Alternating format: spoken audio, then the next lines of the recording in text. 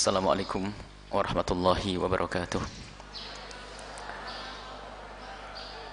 Alhamdulillah salatu wassalamu ala ashrafil anbiya wal mursalin habibina wa syafi'ina wa maulana sayyidina Muhammad wa ala alihi wa ashabihi wa tabi'ina lahum bi ihsanin ila yaumiddin Allahumma ya rabbana faqihna fit ta'wili wa alimna Allahumma alimna at-ta'wila wa faqihna fit din Nas'aluka ya rabbana ilman nafi'a ونعوذ بك يا ربنا من علم لا ينفع وأمل لا يرفع وقلب لا يخشى وعين لا تدمع ونفس لا تشبع إنك أنت على كل شيء قدير اللهم يا ربنا احسرنا يوم القيامة مع زمرة الفقهاء والعلماء العاملين مع, زم مع حبيبك سيد المرسلين وعلى آله وصحبه اللهم يا ربنا ارزقنا التوبة قبل الموت والشهادة عند الموت wal jannata ba'dal maut amma ba'du. Anak-anakku semuanya kita akan belajar kursus ini singkat dan mohon semuanya konsentrasi. Kita belajar fikih praktis ya. Dan semuanya mencatat belajar mencatat. Jangan mengandalkan buku yang akan dibagi tidak. Semuanya mengandalkan catatannya. Berarti untuk konsentrasi mengandalkan catatannya. Tidak boleh mengandalkan buku ini. ini. Hari ini mungkin kita akan ngambil bab fikih wudhu sama fikih sholat. Baru pertemuan berikutnya nanti fikih zakat sama fikih puasa. Baru berikutnya nanti adalah haid. Jadi kursus-kursus itu. Tapi mohon matang. Semuanya harus paham. Jadi syarat sahnya sholat itu adalah harus berwudhu dan wudhu ada as wudu dan wudu harus berbicara tentang air dan seterusnya. Ini para ulama membahas seperti itu. Tapi sebetulnya kalian harus mengetahui siapakah yang punya kewajiban untuk melakukan sholat dan belajar ilmu sholat dan belajar fikih seperti ini. Ini fardu ain, tidak boleh orang tidak belajar. Ilmu yang kalian pelajari ini wajib dipelajari oleh semua orang yang beriman. Profesor, ilmu, doktor, insinyur, dokter, insinyur, segala macam profesi wajib belajar ilmu ini. Artinya ilmu ini sangat penting untuk kalian ajarkan kepada orang lain. Yang tidak mempelajari ilmu ini tidak selamat. Karena ini berkenaan dengan fardu ain, kewajiban untuk diri sendiri. Siapakah orang yang wajib belajar semacam ini? Dan siapakah orang yang wajib belajar ilmu wudhu, ilmu sholat? Mereka adalah orang yang disebut dengan orang mukallaf. Orang mukallaf harus tahu. Siapakah orang mukallaf? Ini langsung saja nanti kalian murojaah sendiri. Ini praktis singkat. Orang mukallaf. Orang mukallaf adalah orang yang punya kewajiban-kewajiban. Jadi kalau tidak mukallaf tidak punya kewajiban. Orang mukallaf yang pertama adalah orang yang berakal. Syarat mukallaf ada empat. Syarat seseorang disebut sebagai orang mukallaf harus memenuhi empat syarat. Yang pertama dia harus orang yang berakal. Sehat akalnya. Maka dari itu orang gila tidak punya kewajiban apa pun. Orang gila tidak punya kewajiban apa pun. Atau kita temukan orang idiot yang lemah sekali, akalnya tidak bisa menjangkau, tidak bisa faham, maka tidak punya kewajiban. Harus faham ini. Maka orang jika ada orang terlahir dari kecil kok gila, maka dia adalah ahli surga. Sampai mati gila ahli surga. Kita menemukan ada orang-orang yang tidak bisa faham biarpun sudah gede tubuhnya tapi mohon maaf idiot yang betul-betul nggak bisa faham dia tidak punya dosa subhanallah. Memang dipandang di dunia adalah orang yang kurang akan tapi di hadapan Allah tidak ada kurang. Karena dia tidak punya pelanggaran kepada Allah subhanahu wa ta'ala. Yang pertama berakal. Yang kedua adalah balik. Balik. Orang balik.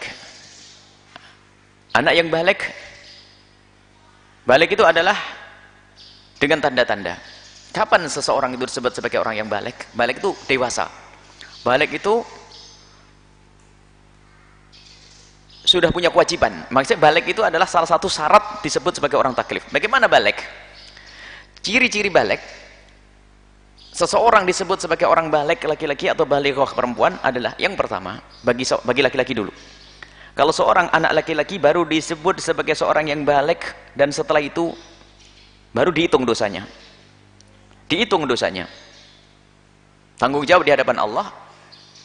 Anak yang balik adalah anak yang sudah mencapai yang sudah keluar mani. Yang pertama adalah keluar mani di umur 9 tahun Hijriah. Keluar mani di umur 9 tahun Hijriah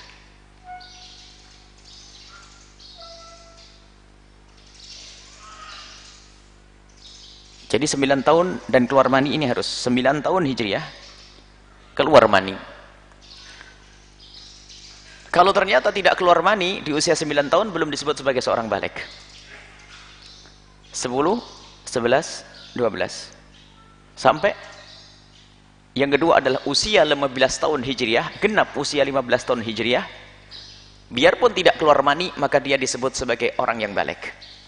Kalau sudah ada anak umur 15 ke atas, pasti dia balik, biarpun tidak pernah keluar mani.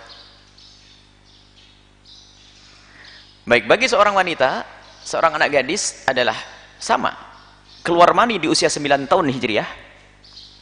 Jika tidak keluar mani di usia 9 tahun hijriah ditunggu sampai 15 tahun hijriah. Kalau sudah 15 tahun hijriah umurnya pasti dia adalah balik biarpun tidak keluar mani jadi yang pertama adalah keluar mani di usia 9 tahun hijriah. Yang kedua usia 15 tahun balik bisin balik yang ketiga adalah keluar darah head di usia 9 tahun hijriah. Keluar darah head sesuai dengan ketentuan ilmu head ada ilmu head nanti kita akan bahas masalah head maka seorang wanita yang usia 9 tahun keluar darah head pasti dia sudah balik. Artinya dia punya kewajiban untuk melakukan puasa dan sebagainya. Mulai saat itu mulai dihitung dosanya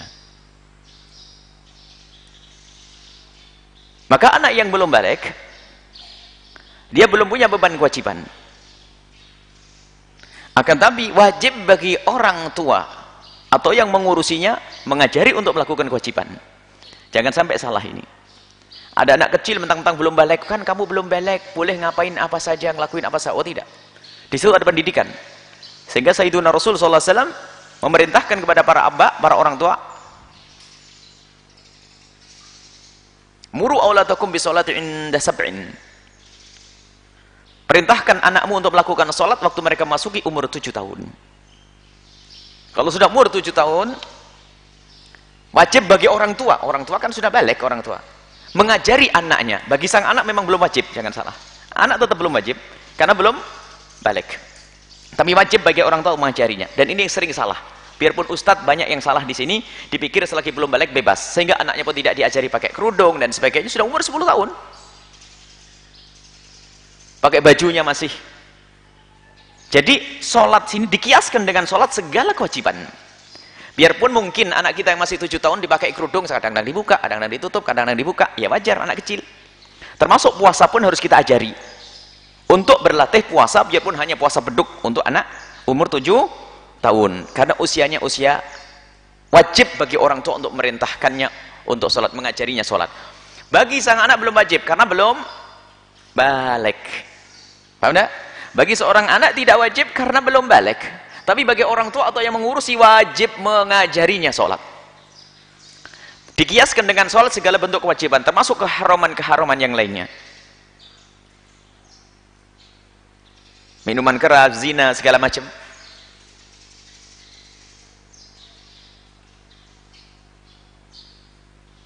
Seorang anak kecil tidak ngerti dosa. Mungkin ada seorang anak kecil dizinai oleh seorang dewasa dan dia mengerti, dia nerima. Ada anak umur 8 tahun belum balik, belum haid dizinai naudzubillah. Yang dosa yang melihat dan dosa yang gede. Anak kecil tidak punya apa-apa, tidak mengerti apa-apa. Tapi bagi orang tua wajib mengajarinya. Usia 7 tahun. Dalam bahasa lain usia tamyiz. Nanti ada catatan kecil. Siapakah orang disebut tamyiz? Ini cabang daripada masalah balik tadi. Tamyiz. Orang tamyiz itu seorang mulai akalnya hidup. Seseorang seorang anak kecil disebut sebagai seorang yang tamyiz yang transaksinya boleh dianggap omongannya sudah mulai dianggap. Tamyiz syaratnya ada dua. Yang pertama umur tujuh tahun hijriah. Yang kedua dia sudah bisa membedakan antara kiri dan kanan. Bisa cepok sendiri makan sendiri mandirilah gitu tamyiz Makanya kalian sering mendengar tamyiz, tamyiz, tamyiz, tamyiz. Apa sih tamyiz? Anakku mumayyizan. Hendaknya dia adalah seorang yang sudah tamyiz. Apa tamyiz? Harus ada catatan yang jelas. Tamyiz menurut madhab kita Imam Syafi'i dijelaskan bahasanya usia tamyiz adalah usia 7 tahun hijriah plus syarat yang kedua apa? Dia sudah bisa membedakan kiri kanan atau dalam bahasa lain mandiri. Ini cabang pembahasan tentang balik. Jadi syarat taklif yang kedua adalah balik. Selagi belum balik, dia belum punya beban kewajiban. Tapi sudah wajib belajar. Makanya kalau di pondok ada peraturan. Biarpun dia belum balik, wajib dia sholat. Kalau tidak sholat, dihukum.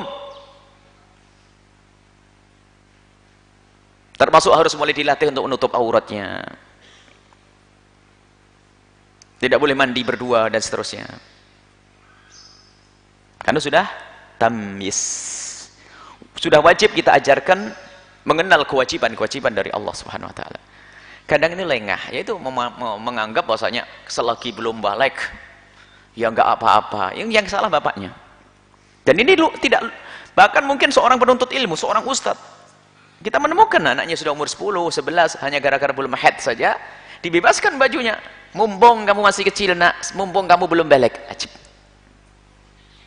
Dan kadang kelihatan datang ke sini Masya Allah. Sudah umur berapa itu Ingat ini ilmu untuk dirimu sendiri, bukan untuk mengoreksi orang lain. Kalau kalian sudah punya anak umur 7 tahun, hendaknya sudah kalian latih dengan dengan kewajiban-kewajiban. Bagi dia belum wajib, tapi bagimu untuk mengajarinya adalah wajib. Baru setelah balik, harga mati. Nah, di saat sudah balik, harga mati, sudah berlatih. Di saat usia tam, tam yes. Sehingga waktu balik, selesai. Tidak berat.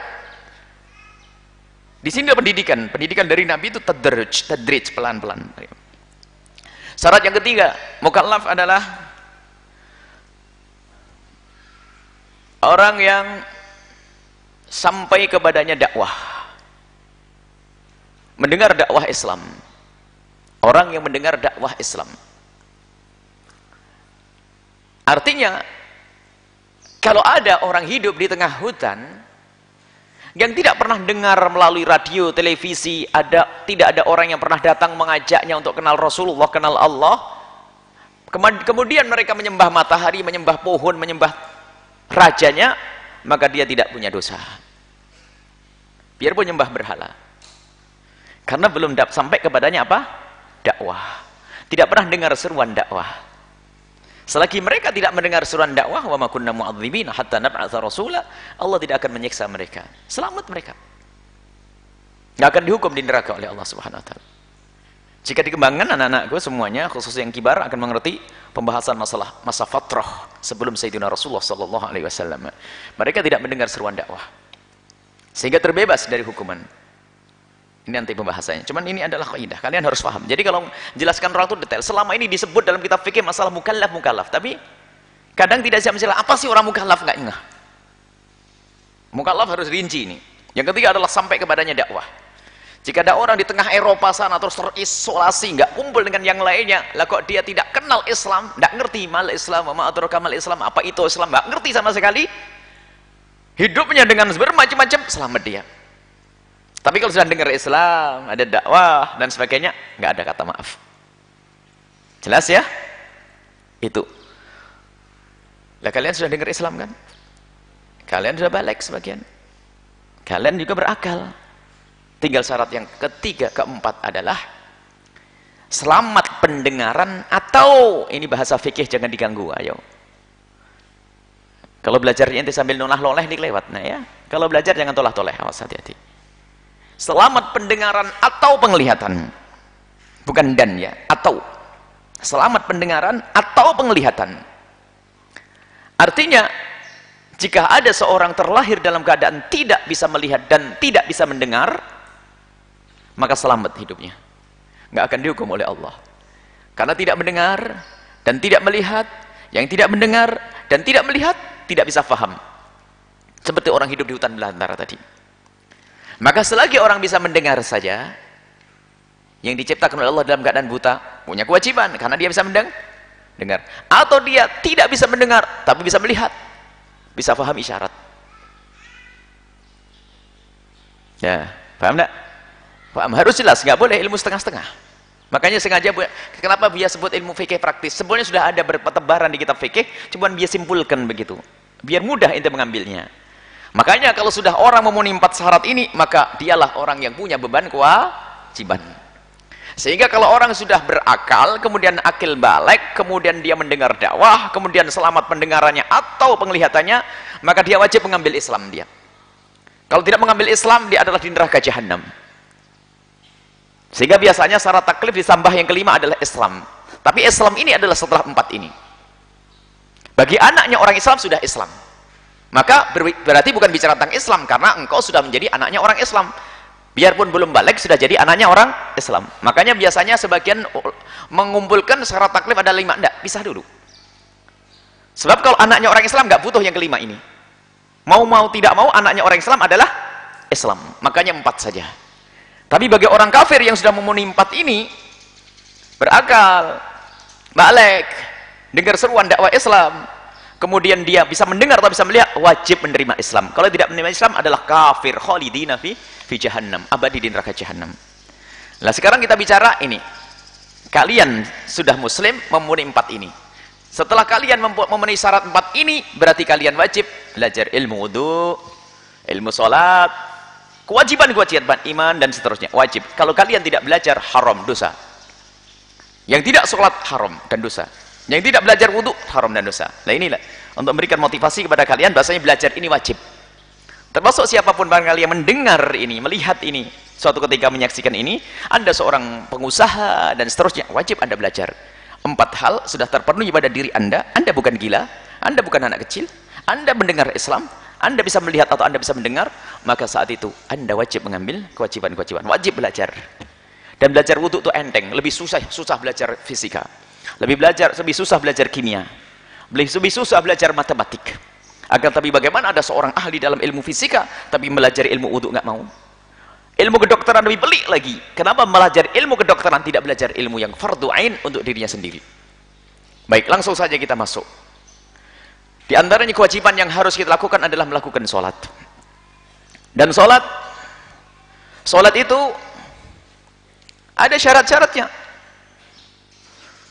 bersuci dari najis dan sebagainya bersuci dari hadas Banyak syarat-syaratnya. Cuman kita bahas satu-satu dulu. Di antara syarat sahnya sholat adalah harus bersuci dari hadas dan bersuci dari najis. Syaratnya untuk sholat harus orang itu terbebas dari najis dan terbebas dari hadas. Baik itu hadas kecil atau hadas besar. Kalau anda punya hadas kecil untuk melakukan sholat tidak diterima, tidak sah. Punya hadas besar pun demikian. Badanmu berbelepotan dengan najis tidak bisa melakukan sholat. Maka harus kalian membersihkan itu semuanya membersihkan najis yang ada di badanmu najis yang ada di bajumu najis sifatmu engkau bersihkan kemudian engkau harus membebaskan dirimu daripada hadas besar dan hadas kecil.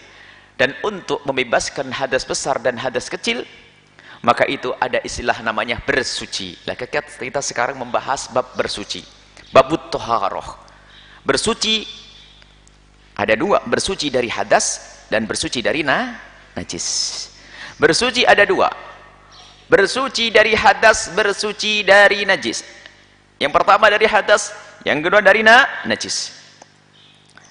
Bersuci dari hadas ada dua. Hadas kecil dan hadas besar hadas kecil dengan berwudu hadas besar dengan cara mandi besar. Mensucikan dari najis tadi dengan membasuh dengan air dan akan dijelaskan pada pembahasan berikutnya. Baik lah kita tahu bahasanya untuk bersuci dari hadas ternyata dengan yang namanya air maka dibahaslah air lebih dahulu.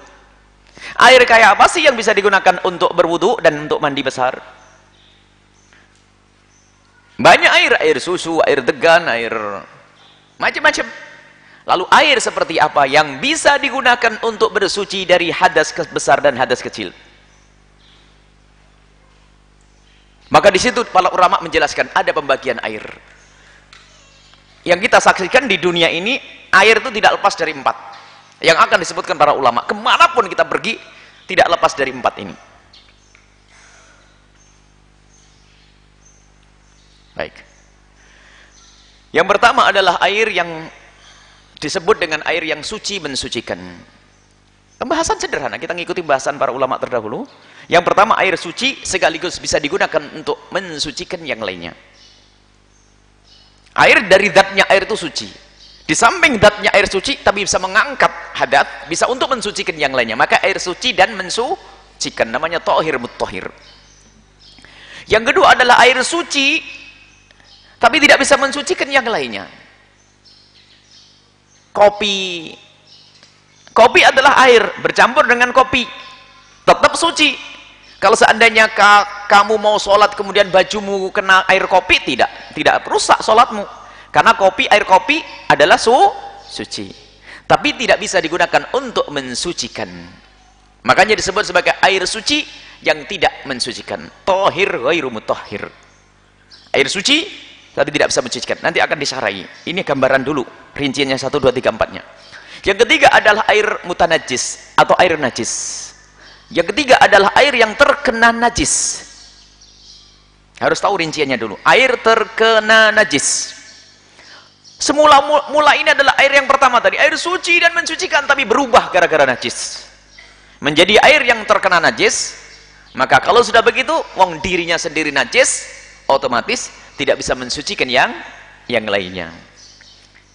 Yang keempat adalah air yang suci dan mensucikan juga tapi makruh.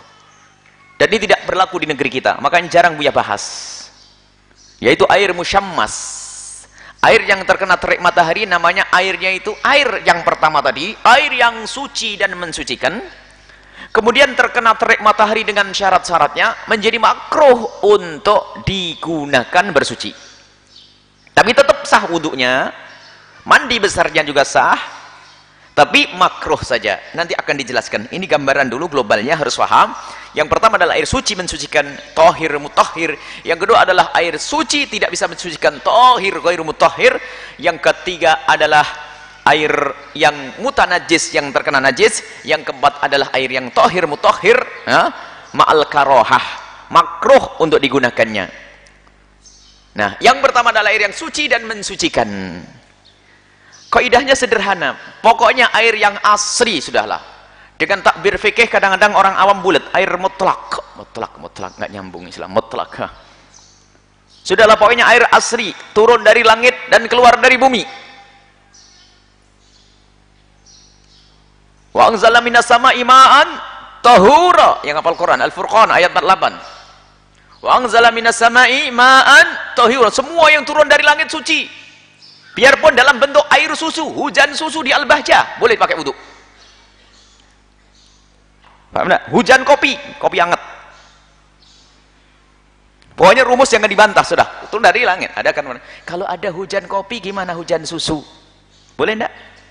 boleh nggak ada orang bikin susu di atas sana itu namanya air warnanya warna su susu ada pernah dulu satu orang wali punya karomah di Aden hujan susu boleh dipakai wudhu Sebab susu yang sebenarnya yang keluar dari dari kambing dan onta itu, ya kan? Sapi. Maka ingat, makanya disebutkan nanti dalam buku Buya adalah dalam bentuk dan warna apa pun.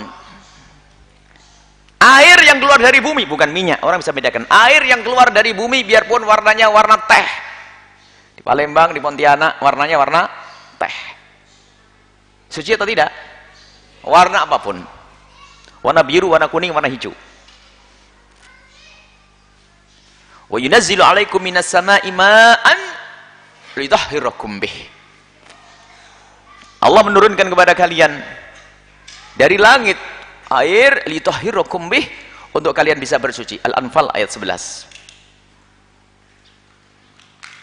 yang dari bumi ceritanya ada para sahabat Nabi di atas kendaraan di atas perahu. Bicara tentang punya air sedikit kalau diminum habis nanti bagaimana bicara tentang air laut. Wal hillu wal wattahuru ma'uhu al hillu maitatuhu. Rawahu khamsah. Diriwayatkan oleh Imam Abu Dawud, Imam Tirmidzi, Imam Nasai, Imam Ibnu Majah dan Imam Ahmad. Ini hadis sahih. Ceritanya apa? Air laut. Air laut itu bagaimana? Air laut kok asin? Dipikir nggak boleh berwudu. Mungkin begitu sahabat Nabi.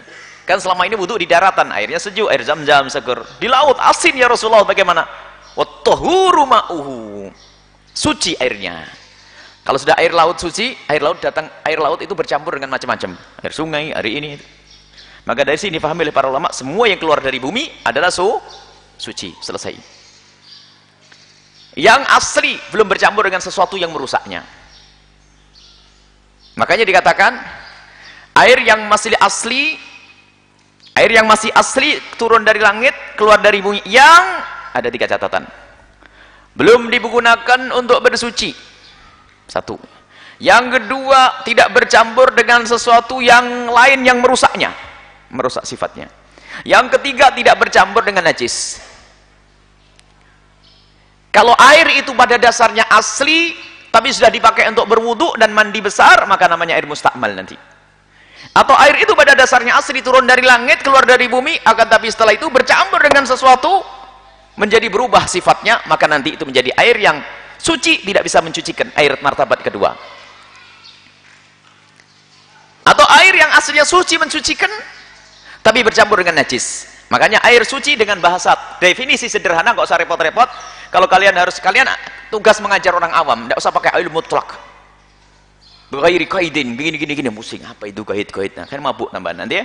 Sudah pokoknya air yang asli turun dari langit keluar dari bumi yang belum dipakai bersuci belum bercampur dengan sesuatu selain air sampai berubah belum terkena najis sudah selesai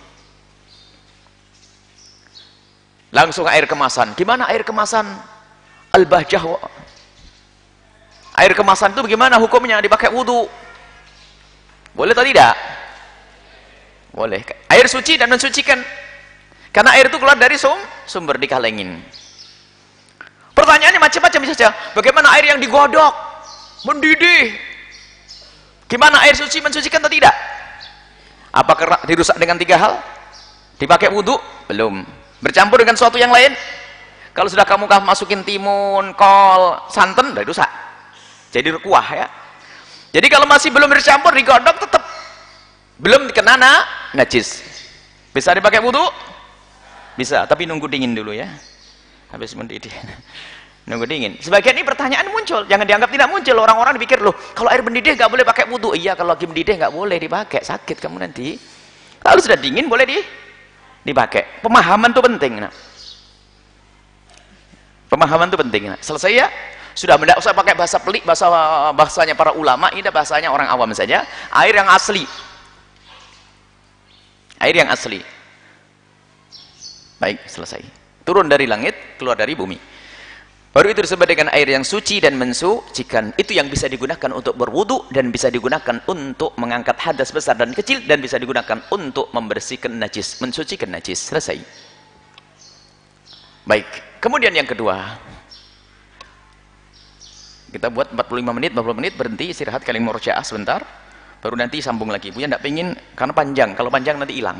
Dan mohon serius semuanya yang kedua adalah air suci tapi tidak bisa digunakan untuk mensucikan yang lainnya.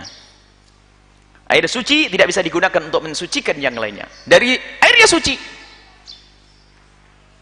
Buya dikasih kopi nih. Kopi ini suci enggak nih? Bisa dipakai wudhu? Tidak. Maka ini air suci yang tidak bisa mensucikan. Suci kalau kena baju dalam sholat tetap sah. Baik. Nah, air suci yang tidak bisa mencucikan Tohir ghairu mutahhir ada dua. Yang pertama adalah air mustakmal. Mustakmal itu air yang sudah digunakan untuk bersuci. Air mustakmal. Hati-hati di sini banyak santri jago ngeliwat salah faham. Awas. Air mustakmal. Yang kedua adalah air yang tohir hormu tohir suci tidak mensucikan. Yang kedua adalah air suci yang mensucikan tadi telah bercampur. Bercampur dengan selain air tepung kopi susu pokoknya selain air. Bercampur dengan sesuatu yang lainnya satunya bercampur dengan sesuatu yang lainnya percampuran yang suci yang kedua. Bercampur syaratnya bercampur dengan sesuatu yang lain. Yang kedua sesuatu yang lain itu suci. Yang ketiga adalah berubah air dengan perubahan yang parah.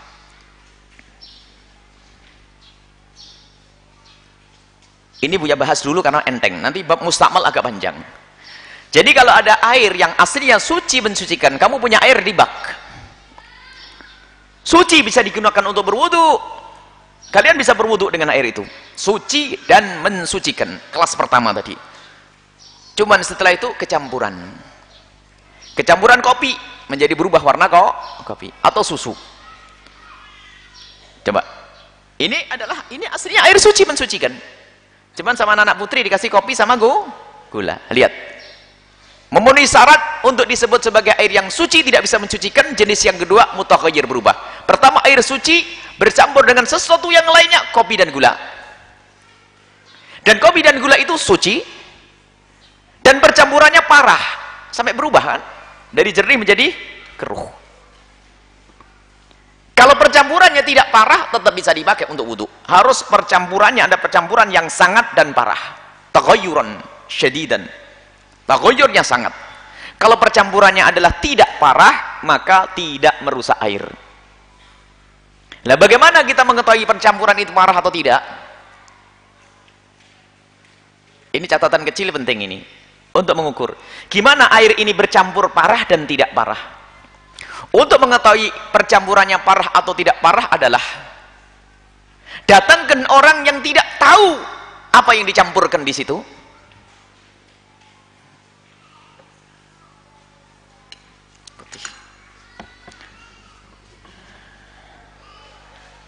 kemudian suruh lihat kalau orang tersebut setelah melihat langsung tahu berarti percampurannya parah. Kalau masih mikir apa ya? Apa ya? Belum parah. Contoh.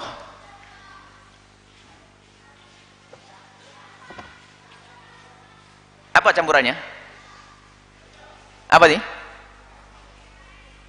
nah, kalau ente tahu bilang kok kopi. Cuman bagi orang yang baru ngomong apa teh kayaknya mungkin teh mungkin sirup mungkin oh nggak apa-apa. Boleh dipakai wudhu jelas?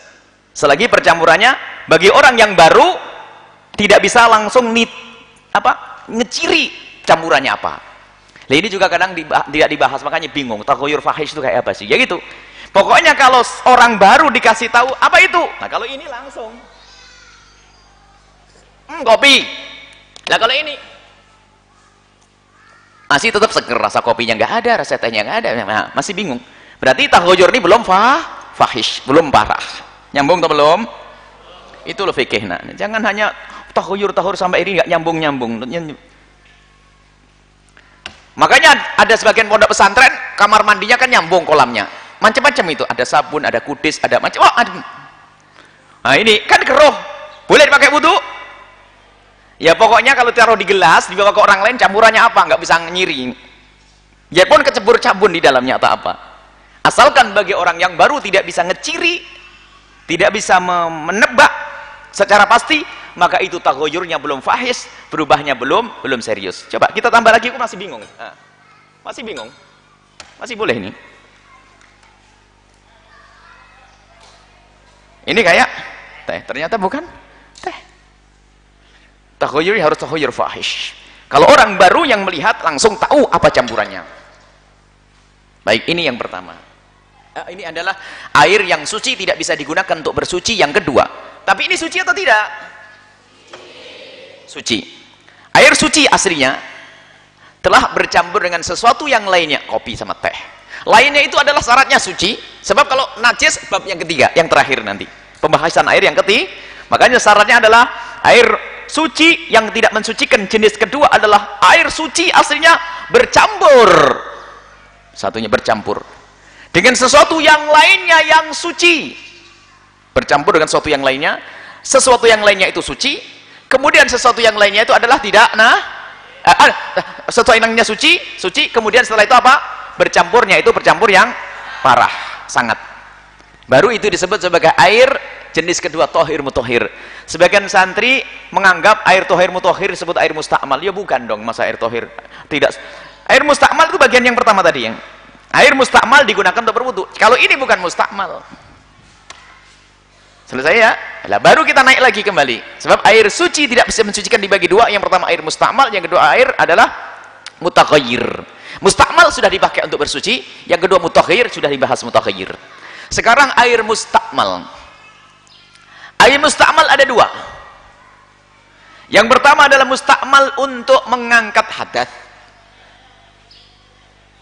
yaitu wudhu dan mandi besar. Yang kedua adalah air mustakmal untuk mengangkat najis. Air mustakmal untuk mengangkat najis. Air mustakmal untuk mengangkat najis untuk membersihkan najis, mensucikan najis lah. Air mustakmal yang pertama adalah untuk mengangkat hadas. Hadas ada dua, hadas besar dan hadas kecil. Maka air tersebut akan disebut sebagai air mustakmal dengan tiga syarat.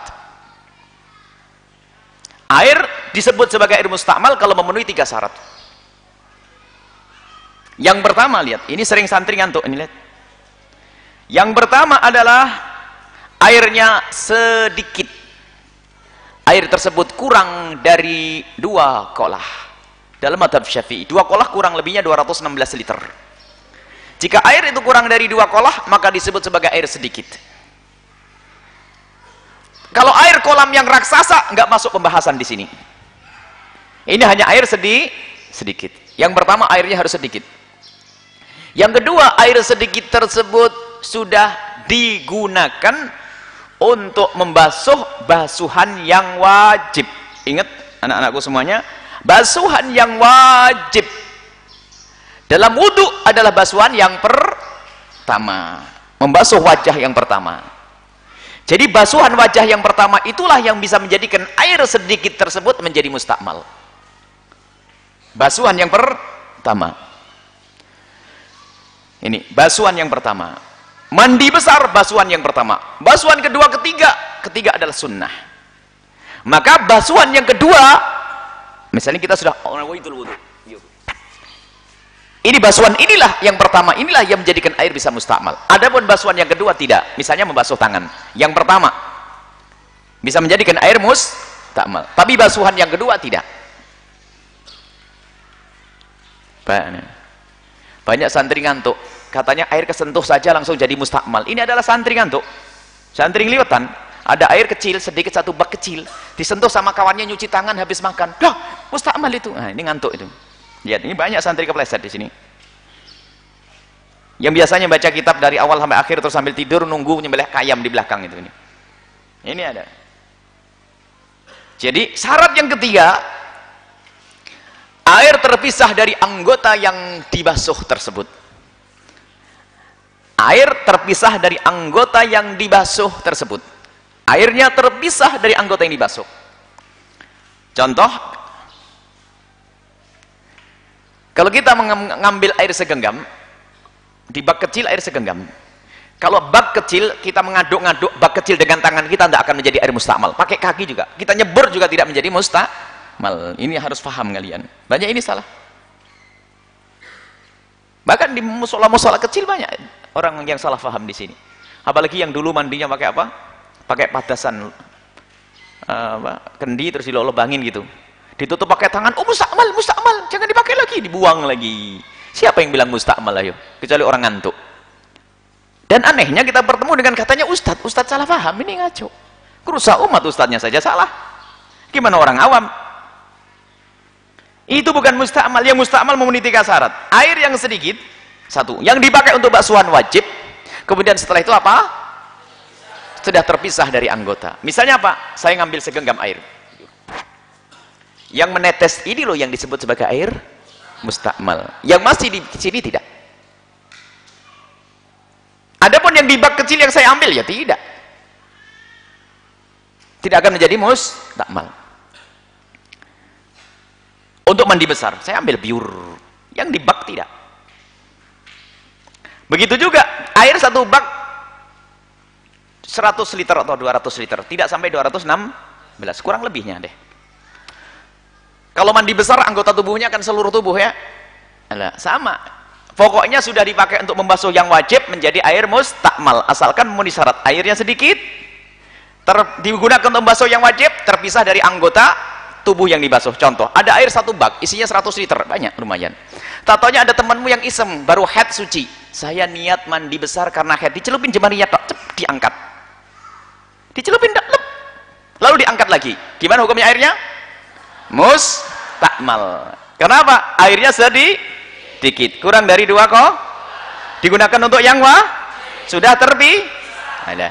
Ini gara-gara faham yang ini dibawa ke faham air secara umum. Ini loh yang sering salah santri kisahnya kalau air satu bak kesentuh sama kita itu menjadi air mustakmal. Kalau memang dia niat untuk mandi besar atau giliran orang basuh wajah. Habis basuh wajah basuh apa?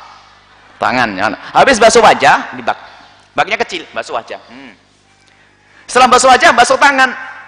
Niat membasuh tak tangan lalu diangkat menjadi mustakmal. Tapi kalau tidak membasuh masuk memasukkan tangannya tidak niat membasuh enggak. Biarpun gilirannya tangan. Contoh habis basuh wajah air bak tidak usah pakai tidak usah pakai gayung nggak apa-apa.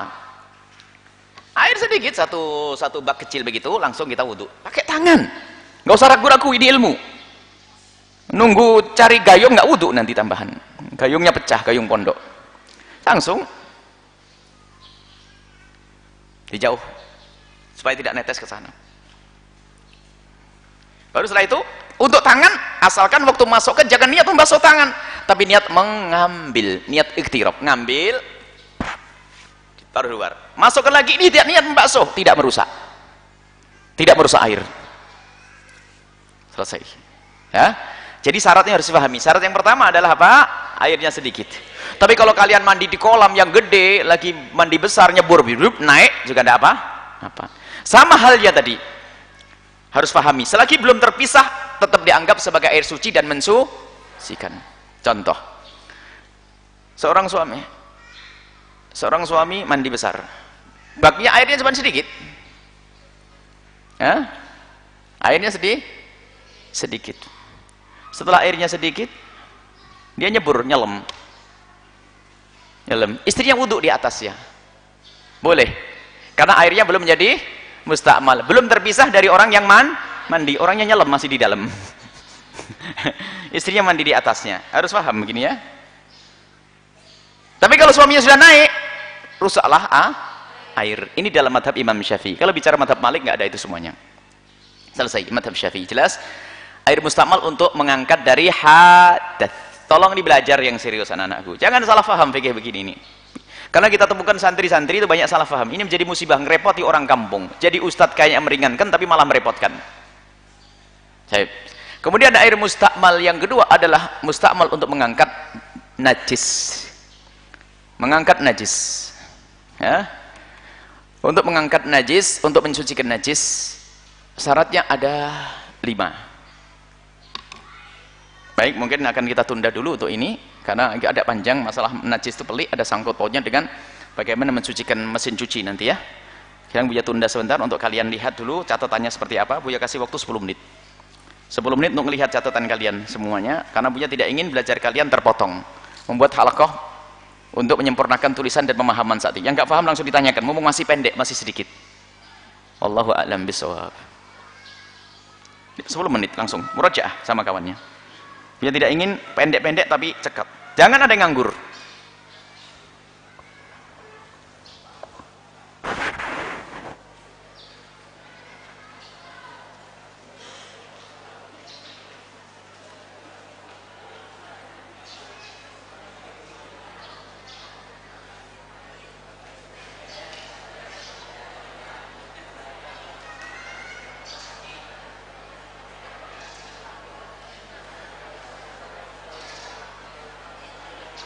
lanjutkan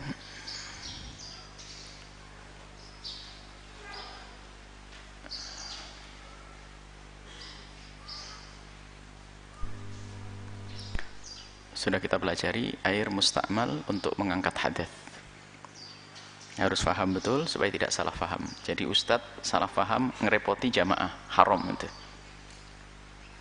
Jualan di pasar saja tidak usah jadi ustadz. Makanya baca fikih itu perlu faham.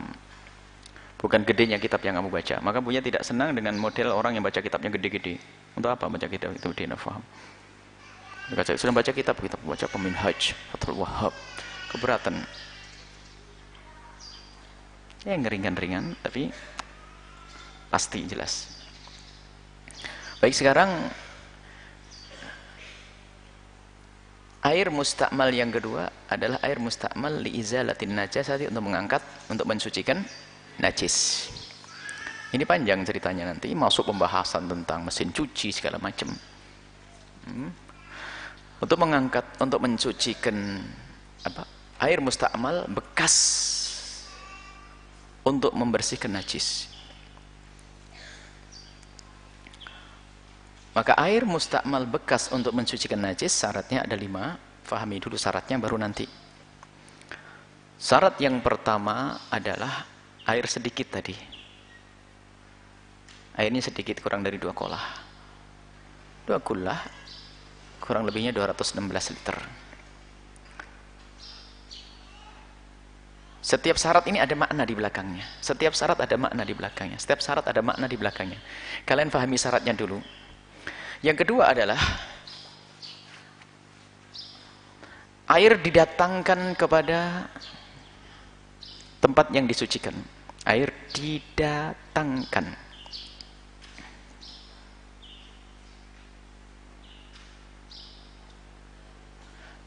Yang ketiga, air terpisah dari sesuatu yang disucikan. Air harus sudah terpisah dari sesuatu yang yang disucikan. Yang keempat, air tidak berubah dengan pengaruh najis. Air tidak berubah. Air tidak berubah sifatnya. Kita harus tahu sifat air ada tiga. Ada warna, ada bau, ada rasa. Nanti ada pembahasan itu. Yang kelima adalah air tidak bertambah beratnya.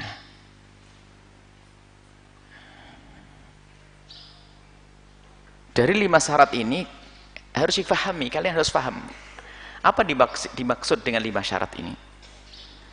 Kalau terpenuhi lima syarat ini, maka air itu air mustakmal kelompok. Air yang kedua yaitu air suci yang tidak mensucikan jenis mustakmal liizalatin najasati untuk membersihkan nah, airnya tetap su suci. Padahal bekas untuk membersihkan najis, tapi tetap suci. Asalkan memenuhi lima syarat.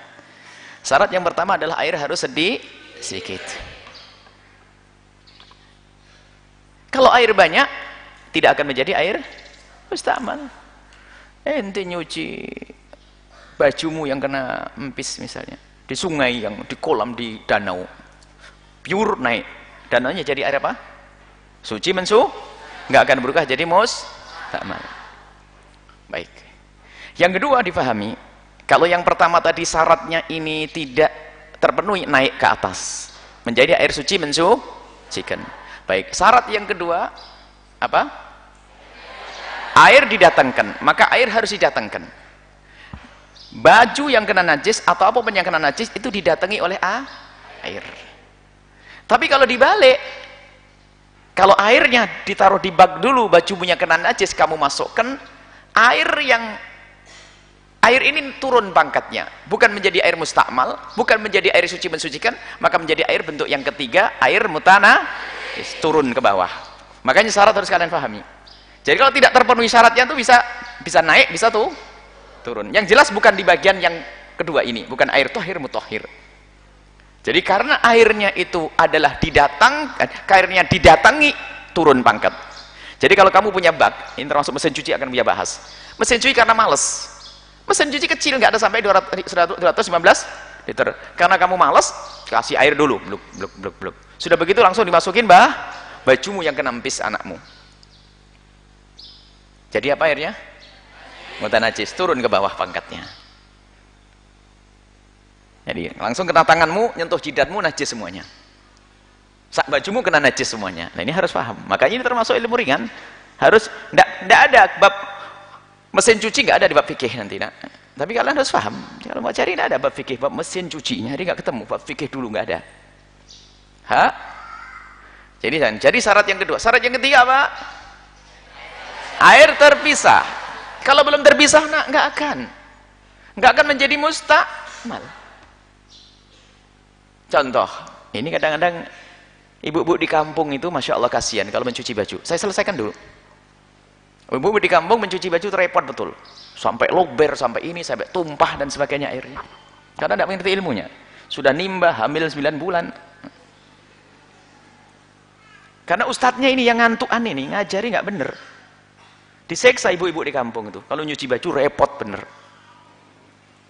jadi anak-anak gue semuanya kalau ada baju kena najis, memang hendaknya najis yang bentuknya empuk kuning besar dibuang. Jangan dibiarin nanti beradu ya. Nanti bocah pilih, bisain, bisain, bersihin, baru nanti ini baju kena najis. Taruh di bak. Kemudian baknya kamu sirami air, lihat. Airnya air sedikit satu timba kecil ya. Betul ya, airnya sedih. Airnya kamu datang kan baik. Selagi air ini belum terpisah, Nak. Selagi air belum terpisah, sudah kamu masukkan ke situ, airnya yang penting baju ini tertutup oleh air merata air genang gitu nak ya. Itu kamu boleh wudhu di atasnya nak. Karena airnya belum terpi berarti airnya belum mus takmal ekstrim ya bahasanya Bu ya. Boleh wudhu di atasnya nih. Kalau tidak begitu tidak ngeh-ngeh kadang santri kantuan yang menjadi masalah ini boleh wudhu di atas? Karena air belum terpi bisa baik. Baru nanti syarat yang ketiga harus terpi ya, kalau sudah kamu pisah namanya air mus dengan catatan lagi tidak berubah warnanya. Kalau berubah jadi kuning kuning pup berarti nah turun ke bawah. Kalau tidak berubah beri tempat di posisinya air mus takmal tidak berubah. Oh tidak berubah karena tidak berubah sudahlah. Ya Allah kuahnya kurang nih. Bikin sayur. Diambil dibikin ku. Boleh atau tidak? Suci. Cuman tidak bisa untuk bersu. Ekstrim. Kasih contoh yang ekstrim. Kalau ekstrim kamu nggak ngeh ngeh nah, balik awas suka belajar belajar maknain dari awal sampai akhir hataman. Bolak balik hatam nggak ngeh ngeh pusing problem merusak umat nanti jadinya. Apa? Jelas ya tidak beru kalau tidak berubah berarti airnya air mus bisa bikin kopi nanti ya dan juga yang kelima tidak bertambah. Kalau bertambah berarti ada empisnya yang di kain tadi kayaknya pindah ke sini. Ini hampir tidak kelihatan masalah tambah ini. Tidak bertambah. Kok masa ada air satu liter menjadi satu liter setengah ini kayak mustahil ya. Ini hanya begitulah syarat para ulama menyebutkan. Coba faham dengan lima syarat? Jelas. Indah. Itu harus paham, fikih itu harus paham. Makanya ibu-ibu di kampung tuh kasihan. Kalau mencuci baju harus lober numpah tiga kali. Hmm. harus tiga kali habis diguyur di, di apa dituang dituangin lagi dibuang dituangin lagi. Nah, ini ada di kampung. Kalau nggak lober nggak sah. Nggak harus lober. Siapa mengatakan harus tumpah? Tidak. Yang penting bajumu sudah tenggelam terendam oleh air semuanya langsung diangkat sudah su suci coba banyak kesalahan di kampung nyiksa orang kampung di kampung masih lumayan banyak air sungai, tapi yang di kota itu yang pamnya sering macet itu ayo tambah celaka lagi nanti. Makanya ilmu penting nak kalian harus faham betul, tidak boleh setengah faham.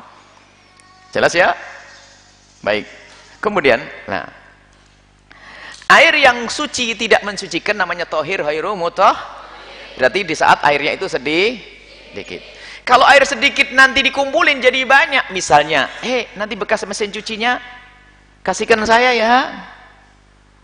Ini dikumpulin kumpulin kumpulin. Air mustakmal mustakmal mustakmal mustakmal dikumpulin. Tak tahu jadi 300 liter. Jadi air suci mensuci. Karena syarat yang pertama nggak ada lagi. Syarat yang pertama air sedih. Setelah dikumpulin jadi sedikit enggak badi banyak. Kalau banyak bukan mustakmal lagi. Hana? Jelas ya ini harus paham. Makanya kali ini masalah mesin cuci. Kalau kalian mencuci mesin cuci, nah, harus ada ilmunya. Jadi kalau mencuci mesin cuci itu airnya terlebih dahulu. Jadi dulu bajunya dulu. Bajunya dulu. Setelah baju, baru kamu alirkan mesin air ke dalam mesin cuci. Cukup yang penting bajumu itu menggenang. Setelah setelah baju itu menggenang, kamu goyangkan mesin cuci. Merata. Selalu kamu buang airnya. Tidak harus sampai penuh, tidak. Nah, siapa yang mengatakan sampai penuh? Itu hanya orang sakit saja. Yang penting bajumu itu sudah terkena air menggenang. Baik. Setelah menggenang, yakin merata semuanya, dan kamu lihat gak ada perubahan dan perkiraan bentuknya tidak apa beratnya tidak tambah berarti bajumu itu sudah apa su suci baru setelah itu kalau kamu pengen kasih sabun setelahnya. Kamu kasih sah sabun. Tapi kalau sabunnya kamu kasih yang pertama rusak air semuanya. Sebab air suci bercampur dengan sesuatu yang ma apa mutaghayyir tadi loh nak.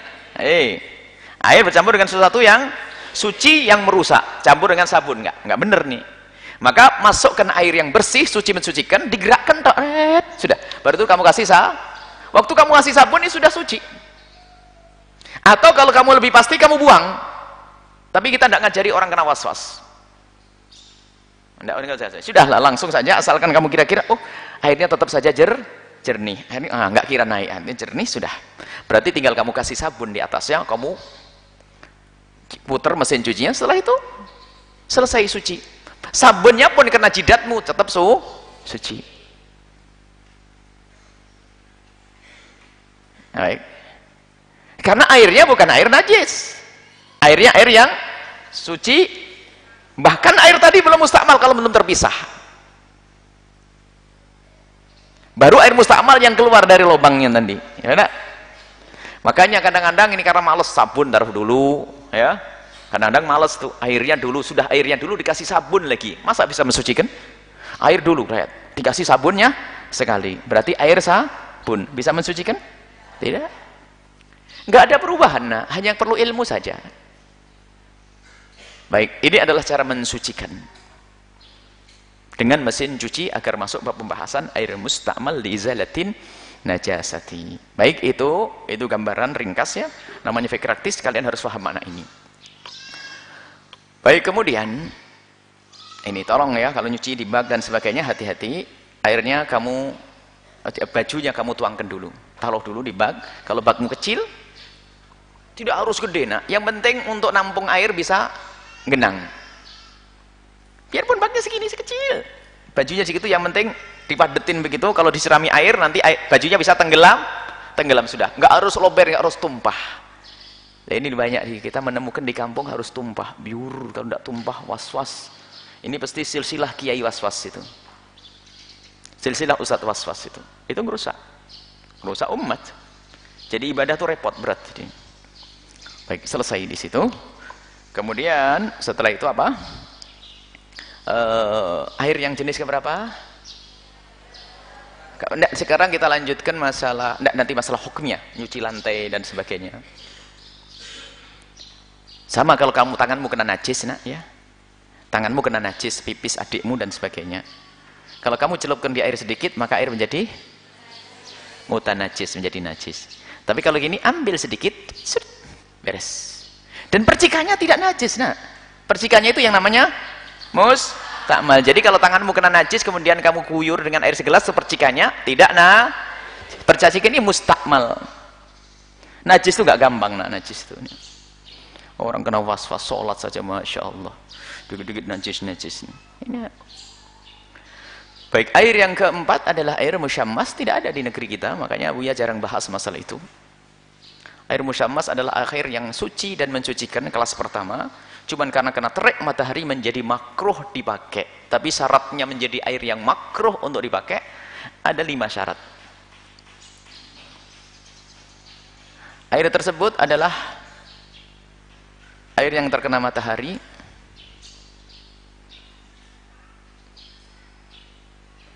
Satu. Kedua di negeri di, matahari. Yang kedua adalah di negeri yang panas ya Hadromut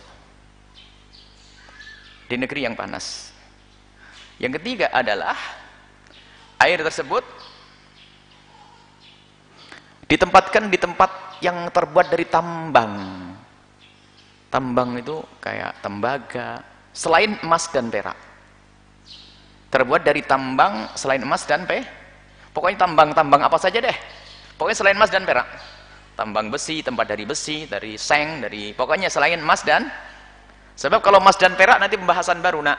Wadah dari emas dan perak hukumnya ha haram. Bab lain nanti.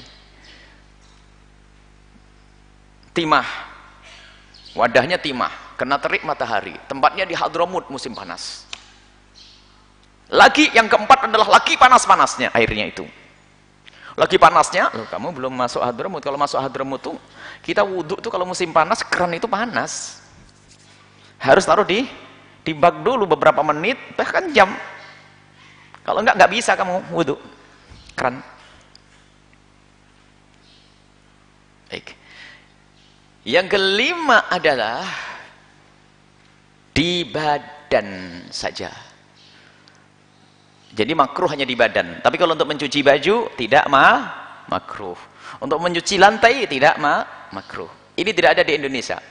Jadi biarpun kamu punya wadah dari seng dijemur matahari di sini nak enggak tersebut enggak disebut sebagai air mus syammas air yang makruh tadi karena ini bukan negeri panas. Panas-panas Indonesia Raya masih tidak panas ya di musim panas. Jadi terkena terik matahari di tempat yang terbuat dari tambang selain emas dan perak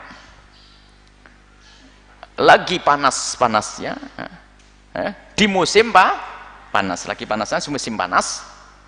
Kemudian apa tadi? Di badan saja ya di ba di badan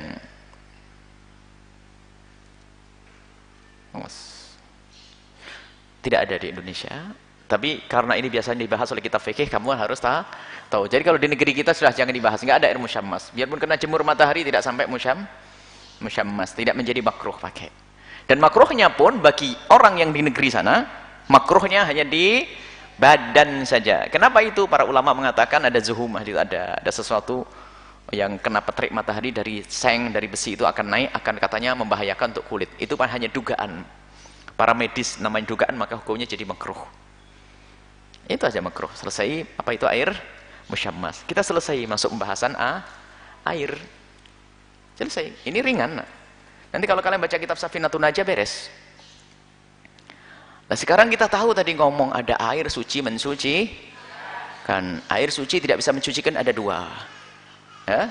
Pertama mustakmal yang kedua beru berubah. Baik. Berubah harus tahu dan perubahan nanti ada pengecualian. Tidak usah diperlebar saja. Perubahan misalnya, ini tambahan catatan kecil. Air jenis yang kedua yang berubah tadi, perubahan tidak akan membahayakan air jika perubahan air disebabkan karena sesuatu yang memang tidak dipisah, tidak bisa dipisahkan dari air seperti lumut gunung belerang ya. kalau kamu berwuduk di tempat gunung belerang maka bau airnya bau belerang. Kalau di lumut hijau biru. Berubah air karena lo lumut. Maka itu tidak merusak. Karena berubah oleh sesuatu yang memang kebiasaannya di tempat tersebut. Ya ini ini sebetulnya tidak terlalu, terlalu hampir tidak pernah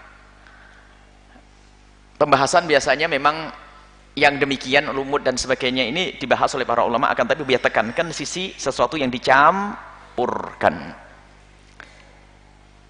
Baik ya.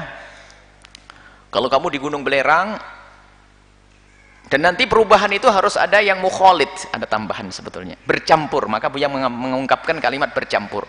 Kalau bukan bercampur hanya berdampingan tidak. Mujawir istilah mujawir Baik, namanya fikih praktis biar tidak akan ke sana dulu sudahlah. Kita akan lanjutkan masalah apa yang ketiga ada air yang terkena nah, najis. Lah najis itu apa sih kan begitu? Orang bingung. Sebab orang awam tidak ngerti dipikir ludah najis. Nasi busuk najis, dipikir begitu. Namanya nggak ngerti. Kopi dipikir najis kena kopi gara-gara ngaji. Kalau baju kena najis tidak sah dipakai so. Tak-taknya kena kopi balik. Kenapa? Kena kopi. Kalau tidak kena kopi misalnya kena apa? Di pinggir jalan sana. Kena cipratan mobil, langsung balik. Loh kenapa? Saya kena lumpur di pinggir jalan. Loh kenapa? Katanya Ustadz kalau najis nggak sah sholatnya. Siapa yang bilang lumpur najis? Ini biasanya inti berguru sama Ustadz was-was itu ngerusak, ngerepoti yang di sini dipangkas was-was. Kalau was-was itu langsung dipentung saja itu sembuh nanti. Ada orang was-was, was-was aku. najis itu para ulama mendefinisikan najis itu bermacam-macam sehingga karena sesuatu yang susah didefinisikan dikatakan para ulama kalau sesuatu susah didefinisikan hitung saja sudah ketemu nanti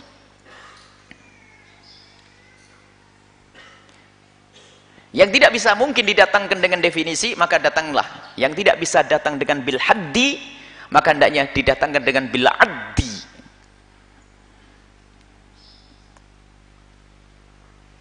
Kalau dia bisa definisi, karena definisi najis itu banyak macam-macam. Termasuk definisi yang paling lengkap adalah justru di kitab Sarah Takrib Fathul Qorib. Ada di sini catatan, Buya tidak mau menghadirkan, sudah Buya masukkan catatan itu. Cuman Buya menghadirkan lagi definisi yang praktis. Yang ada sangkut pautnya dengan dengan pelajaran kita. Maka di sini Buya definisikan bahasanya, najis adalah sesuatu yang haram untuk dimakan. Haram untuk dimakan, dan satu menjadikan sebab sholat tidak sah jika terkena ya, kan? jika dibawa dalam sholat menjadi tidak sah sholat dan jika terkena air menjadi rusaknya air itu najis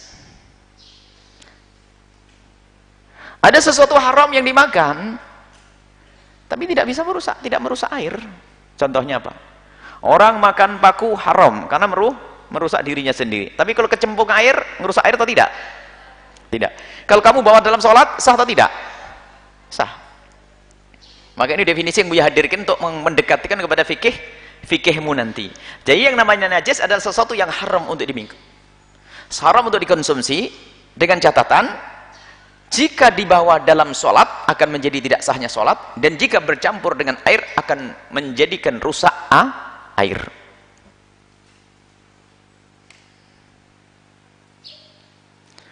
Merusak air tapi belum tentu menjadikan tidak sahnya sholat. Contohnya tepung merusak air atau tidak? Merusak tapi di bawah sholat tepung tetap sah ya, jadi harus tiga tadi haram dimakan digunakan untuk sholat adalah menjadi tidak sah bercampur dengan air menjadi meru merusak itu najis itu definisi ringan kalau definisi dalam kitab Fathul Qorib tidak bisa sebutkan dalam praktis ini karena intinya sampai tujuan. Bahkan lupakan definisi sekarang bil'at hitungan saja. Menurut madhab Imam Syafi'i hanya ada tujuh najis itu. Selebihnya jangan ragu-ragu.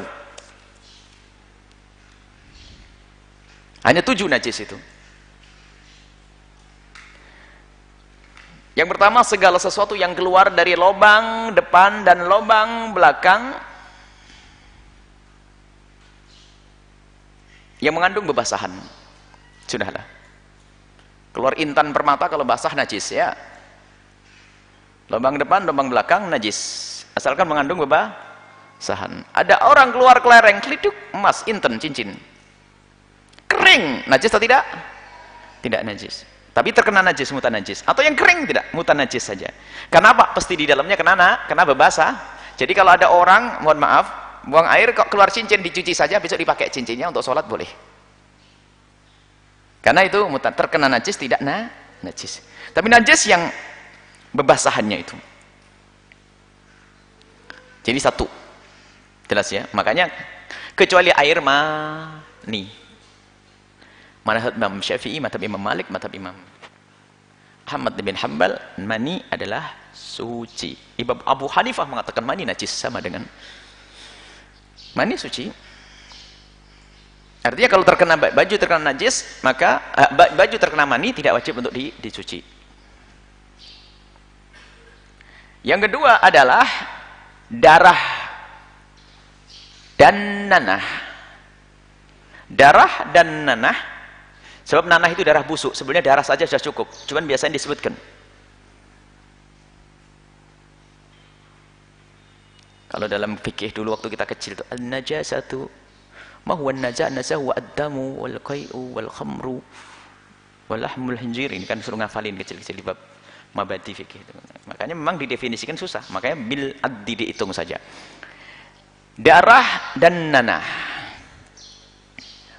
dari manusia ataupun binatang. Termasuk ikan yang katanya bangkainya pun adalah halal tapi darahnya tetap najis. Ini kadang kesalahpahaman. Dipikir kalau ikannya itu jadi bangkai saja boleh lalu darahnya jadi suci. Enggak. Maka darah misalnya kamu nyembelih ikan gede Tatanya darahnya menciprat. Najis atau tidak? najis. Darah dari manusia dan binatang semua darah. Menurut jumhur ulama. Ada pun nanti madhab Imam Ahmad ibn Hambal akan dia sisipkan dalam keadaan lagi bekam dan sebagainya orang sakit lagi bekam adalah nanti ikut madhab Imam Ahmad. Ini adalah masalah lain.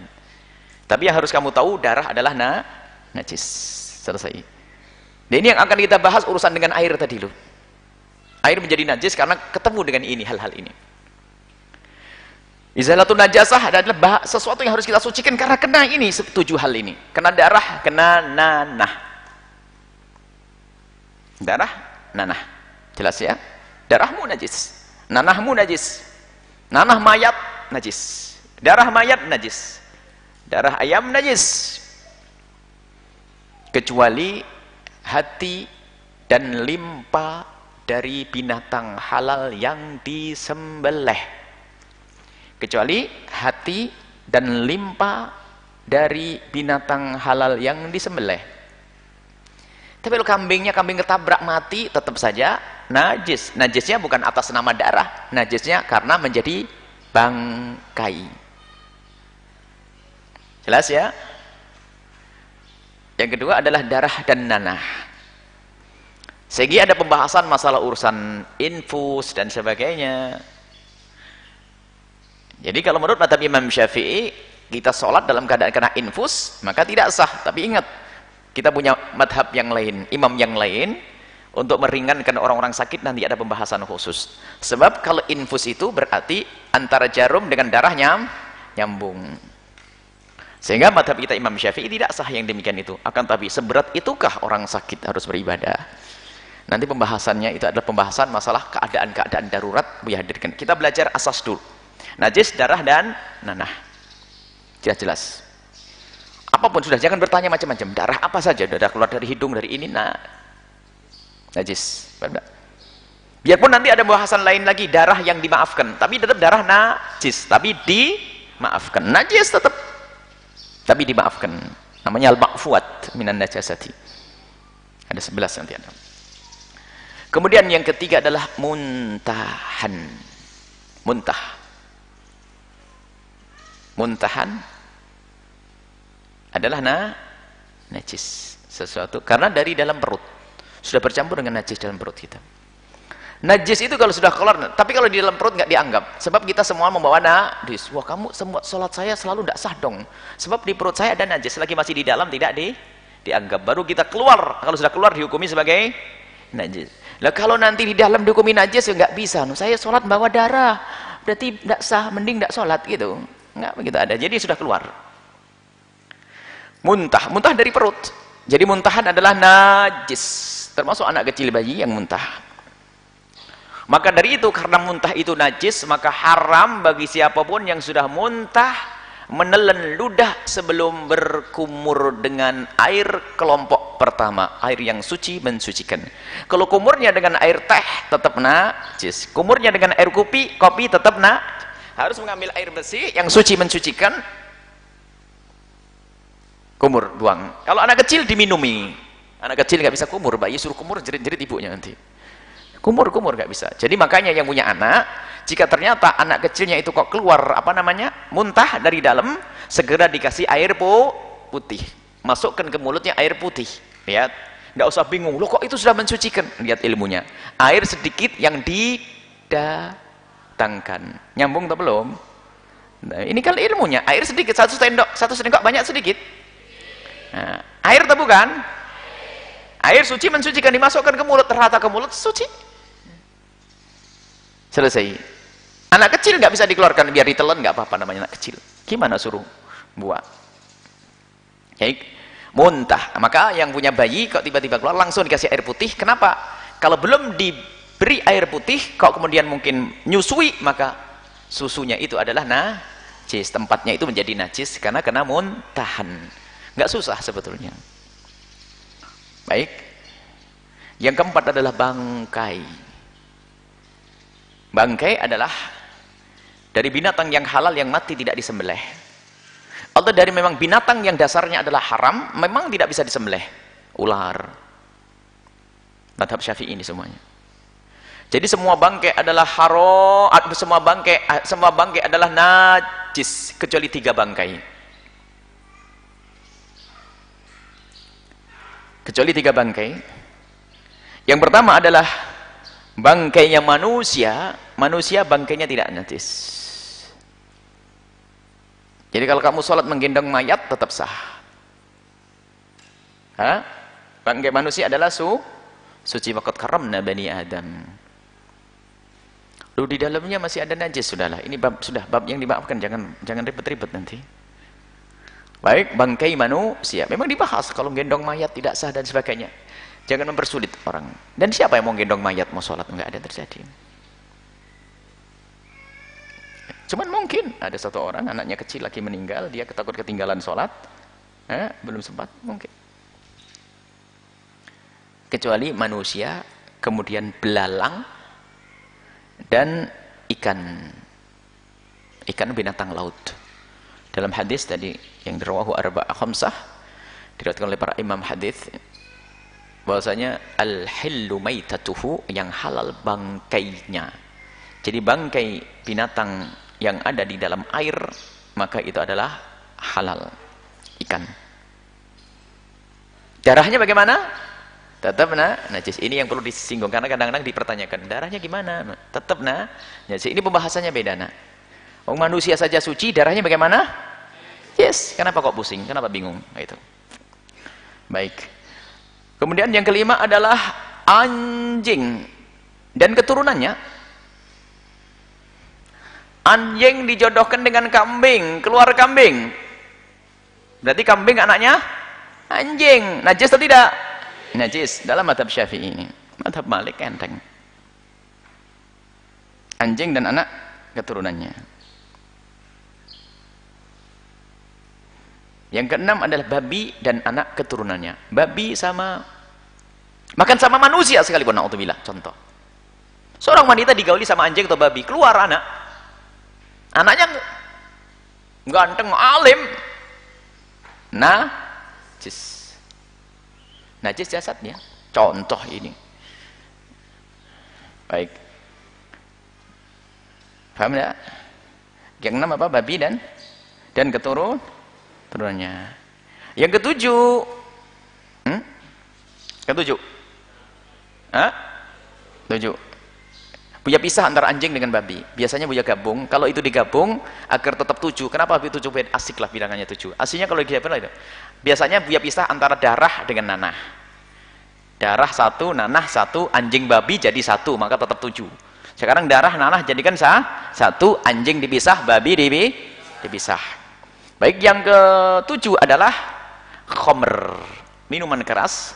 Termasuk di dalamnya adalah alkohol, minuman keras minuman cairan yang memabukkan kalau tidak cair tidak najis ekstasi pil-pil itu nggak najis tapi pokoknya kuncinya memabukkan yang cair.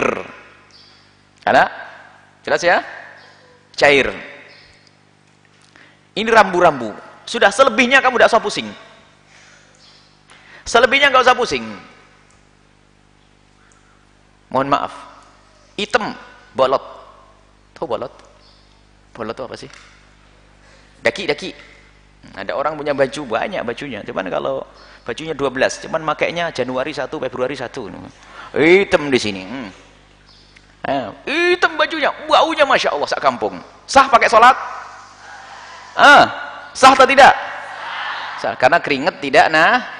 Yes harus ekstrim itu contohnya ekstrim contohnya kadang-kadang gara-gara kotor dipikir cuman jangan tantang begitu lalu ah kata bu ya nggak apa-apa nih biarin deh pengiritan sabun sama air bantu pondok.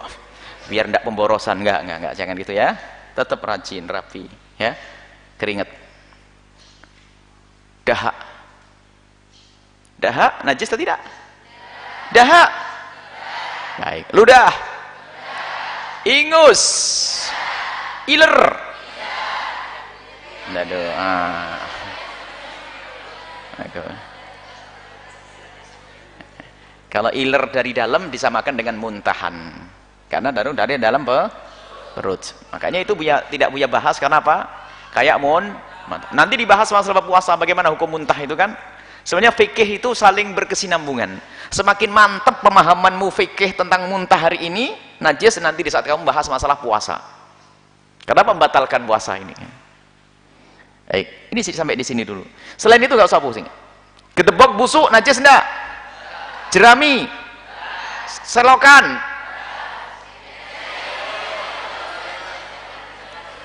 Sudah pinggir jalan sana.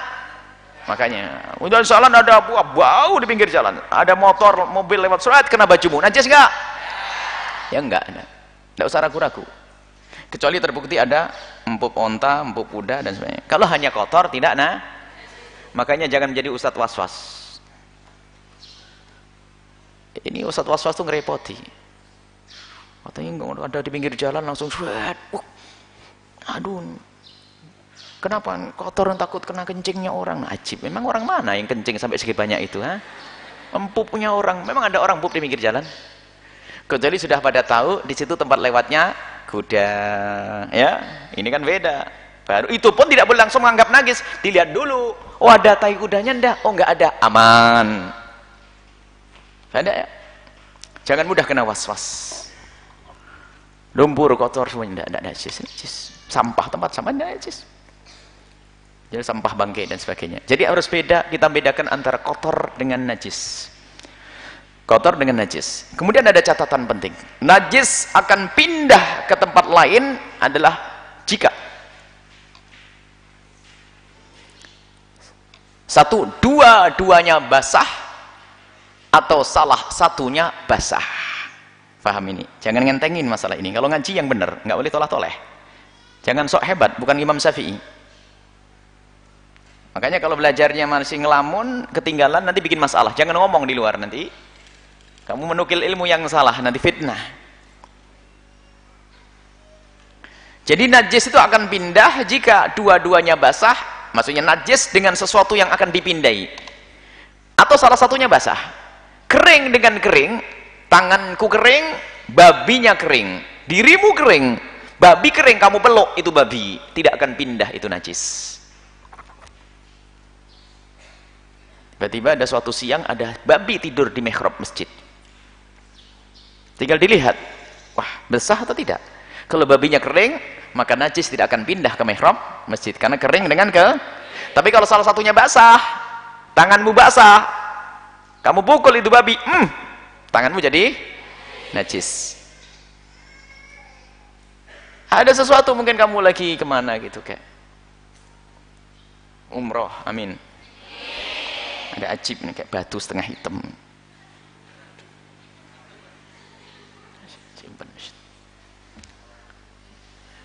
Sambil di kamar dipakai sholat ini pikir batu ajib. Sholat habis sholat ini pikir-pikir sampai di hotel perhatikan kok dibuka dek, di dalamnya eh rupanya kotoran onta kering kayak batu sholatmu tidak sah tapi tanganmu yang nyentuh najis atau tidak tidak, karena dia ke bajumu pun tidak usah di disucikan karena bajumu kering dan kotorannya ke tapi tetap kalau dibawa tidak sah. Kering dengan kering tidak memindah najis. Kalian harus paham. Makanya ini soal biasa pendidikan dalam Islam. Makanya dalam di di tempat-tempat kering adalah sehat kan begitu di hotel di ada kering adalah se sehat sehat karena kering itu menghindarkan orang dari memindah najis Faham ya? Ini. Jadi najis pindah kepada najis kalau memang salah satunya basah atau dua du duanya. Tidak usah ragu. Kamu lagi ke pasar disenggol sama anjing, tenang aja. Bajumu kering, anjing kering. Sorry, tenang aja ya anjing. Aku tidak akan terpengaruh olehmu. Kenapa? Aku kering, engkau ke kering. Selesai. Kamu ya? Selesai. Jangan ragu. Tapi kalau sudah ada basahnya, basah itu harus paham basah Bahasa ngerti. Bahasa tidak harus air yang mengenang. Susu. Apa saja, bebasahan. Pokoknya basah. Minyak termasuk jenis bebasahan. Biarpun tidak kita sebut sebagai air. air. Karena sesuatu yang cair. Basah itu maksud di sini adalah sesuatu yang cair yang akan memindah. Biarpun bukan air. Panci yang tadi buat goreng babi, kemudian buat goreng ayam belum disucikan. Gimana hukumnya? Tapi kamu harus jelas-jelas ngelihat tadi buat goreng bah kalau tidak nggak usah ragu-ragu. Sehingga dikatakan bagaimana hukumnya menggunakan wadahnya orang kafir? Dijawab hukumnya adalah makruh gitu saja.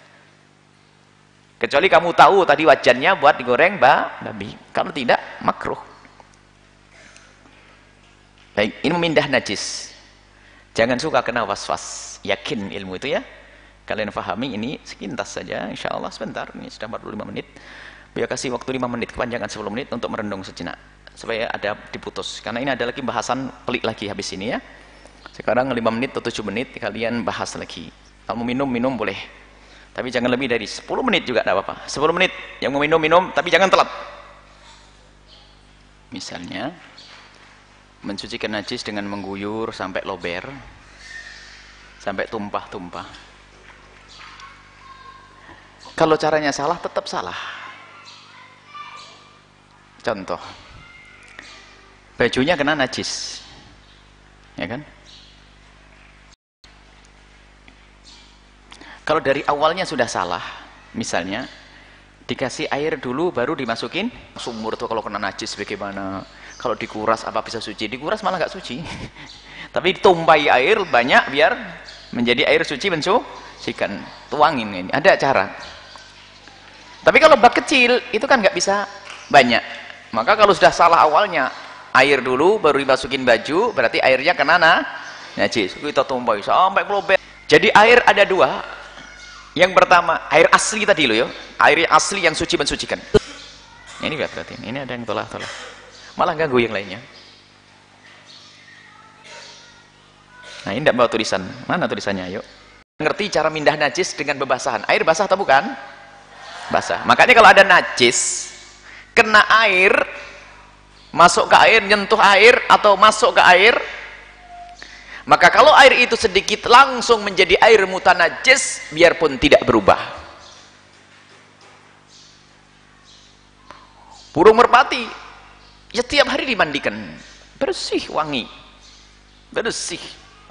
Tatanya burung merpati jadi bangkai. Bangkai najar airnya cuma sedikit. Tidak sampai dua kolah 100 liter. Jatuh.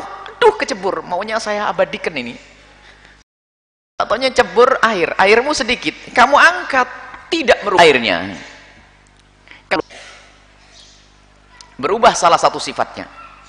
Berubahnya oleh najis. Jadi kemasukan najis berubah warnanya atau baunya atau rasa rasanya. Rasa anjing karena yang masuk anjing. Rasa empuk yang masuk em rasa kencing yang masuk. Nah itu itu maksudnya. Rasanya yang sesuai dengan najisnya itu. Lalu kemasukan anjing rasa sirup yang nggak masuk di sini nggak judul. Nggak ada judul. Jadi kalau ternyata tidak berubah biarpun kemasukan anjing najis yang paling berat anjing nan nyai airnya tetap jernih nggak ada perubahan gimana hukum airnya suci Jangan ragu. Kenapa? Airnya banyak. Paham enggak? Jadi air banyak enggak akan berubah. Sehingga kalau air banyak tadi cara mencucinya gampang. Najis kita ceburin, baju kita ceburin, celupin nanti, celupin tidak ada masalah. Baik, paham ya? Kalau air banyak, baru akan disebut sebagai air yang menjadi najis kalau berubah. Baik. Ada suatu ketika ada subhanallah semoga Allah mengampuni. Ada orang marah-marah sama kawannya gara-gara ngelihat kamar mandi itu kotor. Gimana ini pondok? Ini ingat pondok sana di Karangjala ini ceritanya. Ustadz ada Ustadz tiba-tiba marah-marah sama anak santri kamar mandi kotor ini apa nggak ngerti santri? Alamatun najasah salah ada bau ada aru ini. Suruh ngulai anak alamatun najasa memang ada najis yang nyebur. Jadi anak-anak dimarahi. Memang airnya begitu gampang kotor di sana. Air di sana itu kalau air sumur itu dua hari sudah langsung menguning. Menguning menguning terus kental begitu sudah tidak bilang ente anak-anak tak kasih tahu sudah ente tidak tahu siapa zaman itu sudah ente ente bersihin sajalah biar tidak anu difahamkan juga tidak paham karena ngajinya ngantuan dulu jadi gara-gara kamar mandi marah-marah. Gimana ini tidak ngerti najis ini? Alamatun najasah. Memangnya ada anjing nyebur atau empuk masuk? Kalau air berubah dengan sendirinya, asalkan tidak kemasukan najis, tidak ada masalah. kan tidak bercampur dengan yang lainnya yang menjadi berubah apa bercampur dengan yang lainnya atau kemasukan najis oh tidak ada najis yang masuk. Nah ini kadang kan lemahnya belajar. Melihat warnanya mulai keruh begitu langsung. Alamatun najasah. Ini biasanya kalau belajar hanya ngantuan di belakang itu. Belajar itu serius melek matanya. Nah, ini ada. Dan kita kaget sudah anak-anak gimana ya? Kan dibersihkan tetap kotor lagi. Sudah selagi ada dia bersihin saja. Sebab untuk kamu jelaskan juga tidak bisa. Wong waktu masih muda saja belajarnya masih nggak paham-paham apalagi sudah sepuh nanti di yang kedua najis mutawasitoh najis sedang.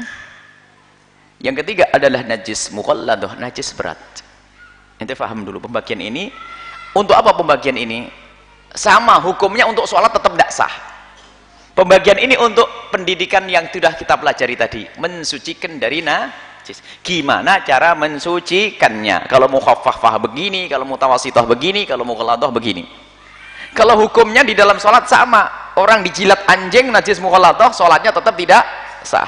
Kena empuk tidak sah. Kena bayi kena kena kencingnya bayi kecil lagi-lagi tetap tidak sah. Sama hukumnya bukan di sini pembahasan. Pembahasannya dia di dalam cara mensucikannya. Cara mensucikannya. Baik, kalau najis mukhaffafah najis ringan, kalau najis ringan itu cara mensucikannya, lah sekarang tahu najis mukhaffafah ada dulu. Najis mukhaffafah syaratnya ada tiga. Yang pertama, mungkin dua saja sih. Najis mukhaffafah tiga syarat. Yang pertama adalah kencing bayi laki-laki. tidak tersinggung wanita kenapa tidak dimasukkan di sini kencing bayi laki-laki yang kedua bayi tersebut belum mencapai dua tahun hijriah. Makanya pasti kalau kencingnya bayi yang namanya bapak-bapak nah cis sudah najisnya bukan mukhafafah lagi sudah gede. Bayi sebelum mencapai dua tahun. Yang ketiga bayi belum makan kecuali ASI susu ibu susu air susu ibu bayi tidak makan kecuali air susu susu ibu. Kalau seperti itu maka ini yang najis mukhaffafah najis ringan. Ini pembahasan ini tidak terlalu berat nak, karena ini enggak ada. Biasanya Buya yang tekankan itu fikih salah faham tadi. Selagi ini adalah ringan-ringan tidak usah langsung saja. Najis mukhaffafah adalah najis itu dengan tiga syarat. Kamu punya adik laki-laki belum makan kecuali susu asi kemudian umurnya belum dua tahun kalau tiba-tiba ada kencing di lantai atau di bajumu maka cara mensucikannya tidak seperti cara mensucikan najis mutawasitoh atau mughalladoh gimana cara mensucikannya sekarang? Cara mensucikannya adalah dengan dua cara. Satu menjauhkan dari bentuk najisnya. Menjauhkan dari bentuk bentuk najisnya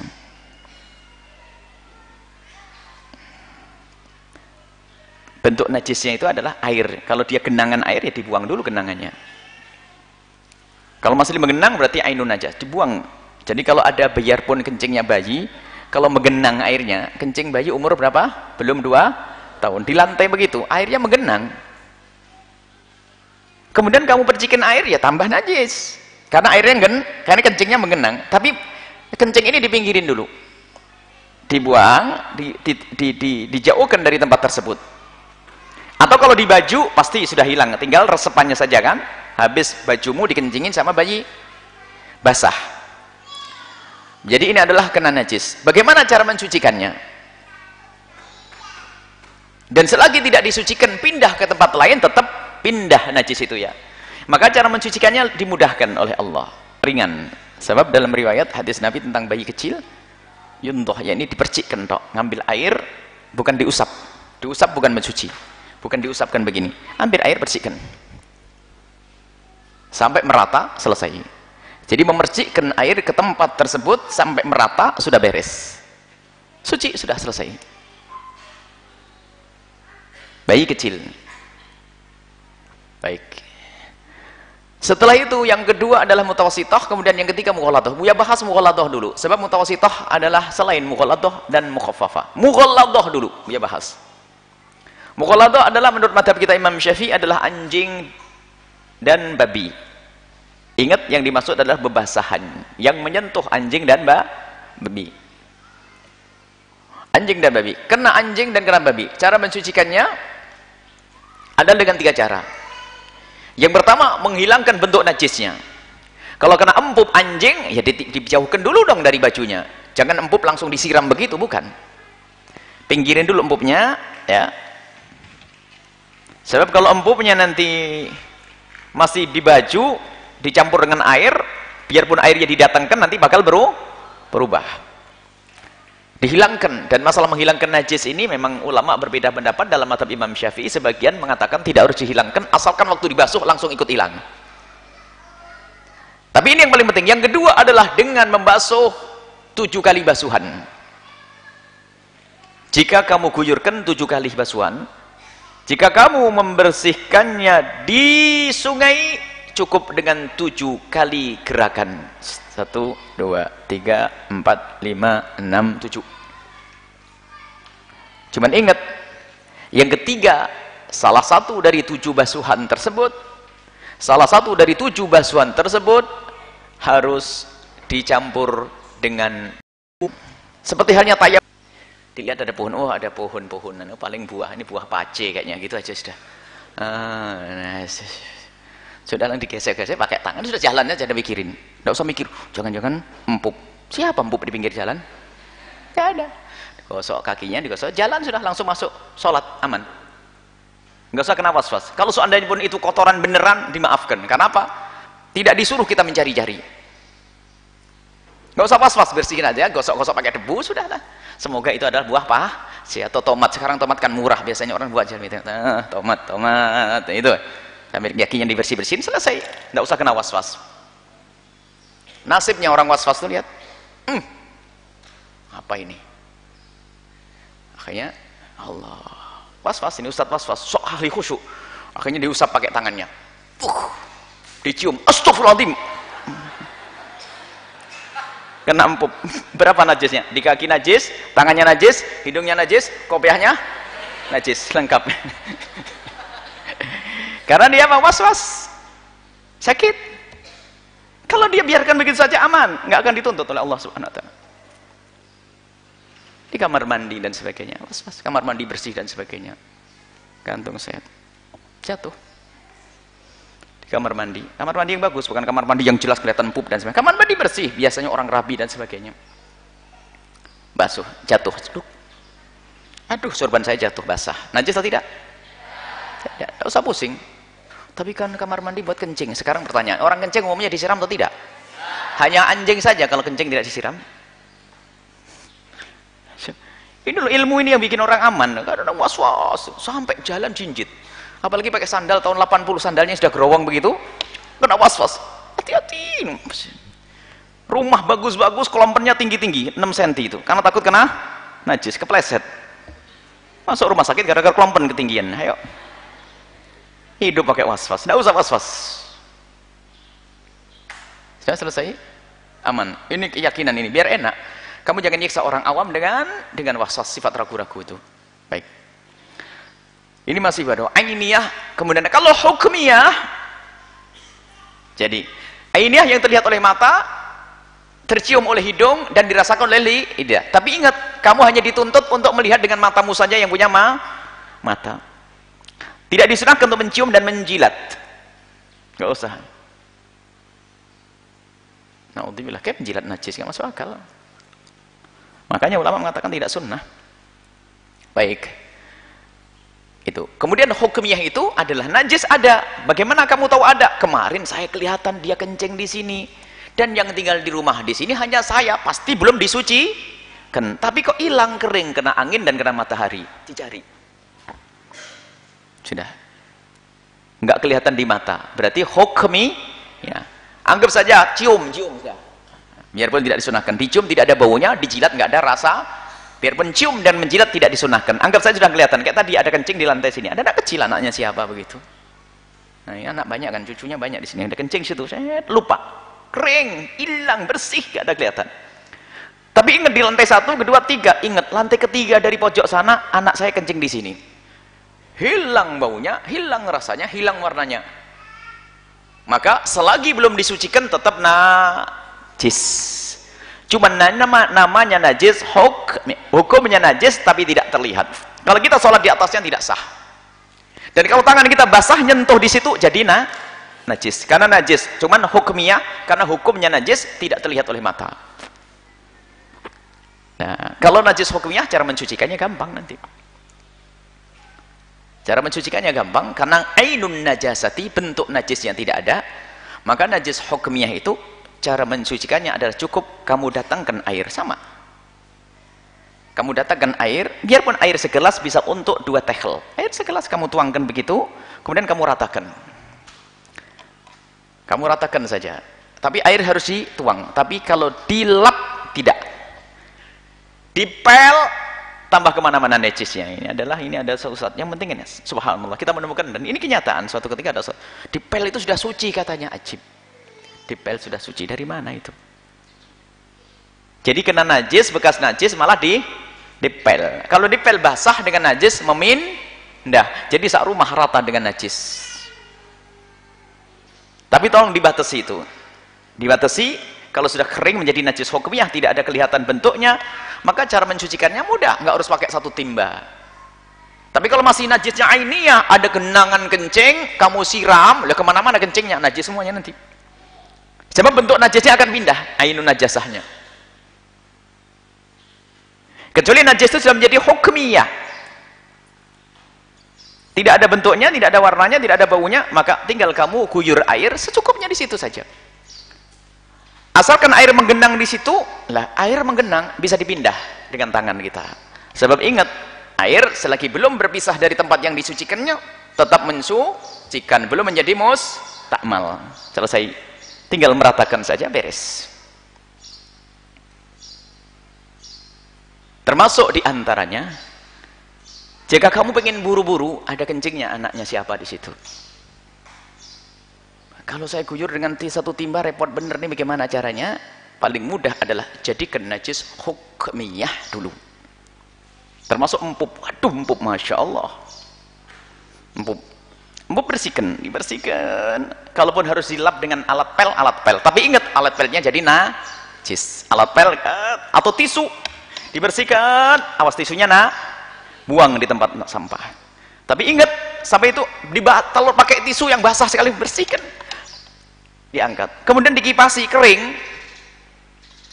Nggak ada bentuknya nggak ada baunya. Berarti najisnya hukumnya jadi kamu bersihkan dulu biar tidak meninggalkan bentuk najisnya setelah kamu bersihkan masih ada basahan biasanya kan? Tapi ingat basahnya najis loh ya. Yang kamu pegang adalah na najis. Wah dicuci di kamar mandi bekas pelnya tadi. Ingat tak tanya kena angin kering. Masih najis atau tidak? Masih. Tinggal karena ini menjadi najis huk nih ya.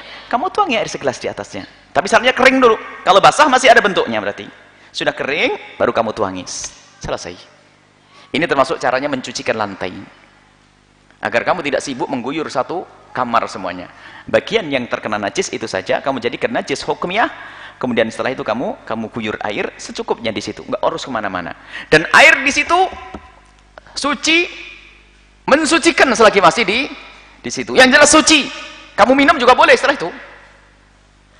Hmm. Habis kamu guyur, kamu minum haus. Ah, minum boleh. Karena suci. Hanya jorok saja. Ini ini ada ini adalah ilmu yang jarang dihadirkan, harus tahu ilmunya. Rumah tangga dan sebagainya. Lah anehnya santri ikut buya kok masih salah gitu kan aneh. Ah, mensucikan yang ngaco. Dipelut ya. Alhamdulillah ada, ada insyaallah dipel enggak karu-karuan kalau kamu pel alat pelnya nah jis kamu tarik ke sana nah jis tarik ke sana najis semuanya sebab ingat kok indahnya yang memindahkan najis apa bebasahan dan mencucikan najis tidak dengan mengusap tapi dengan membasuh. Beda mengusap dengan membasuh. Kalau mengusap mengusap kepala membasuh harus. Sehingga dibedakan dalam wudhu ada ghusl membasuh dan mengusap. Ini adalah masalah apa tadi? Najis ini ya. Kemudian setelah itu sampai di sini dulu. Nggak cukup mestinya waktunya. Ada lagi nanti masih sampai bab sholat. Kita tutup sejenak. Mungkin ada pertanyaan supaya ada ada masukan Buya kasih pertanyaan seberapa jam untuk kesempurnaan Ini untuk siang nanti dilanjutkan sore katanya, biar ada istirahat sore. Sekarang ada pertanyaan yang mau bertanya, silahkan. Ini Putri? Ah, ya ini insya Allah. Putri ini ada yang tanya, ayo. Ayo. Assalamualaikum warahmatullahi wabarakatuh. Waalaikumsalam. Buya Afan, bagaimana hukumnya kalau kita bersuci di kolam renang? Bersuci di Kolam renang. bersuci di kolam renang. Ya. Hah? Yang menjawab temanmu. Kolam renang air asli atau bukan? Air sirup, air degan, air kopi, air ah? Sedikit atau banyak? Biarpun seribu anak kencing di situ, asalkan nggak kecium bau kencingnya, ada tetap boleh dipakai untuk mandi besar dan berwudu. Asalkan tidak berubah. Ingat, oh tapi ada yang kencing di situ.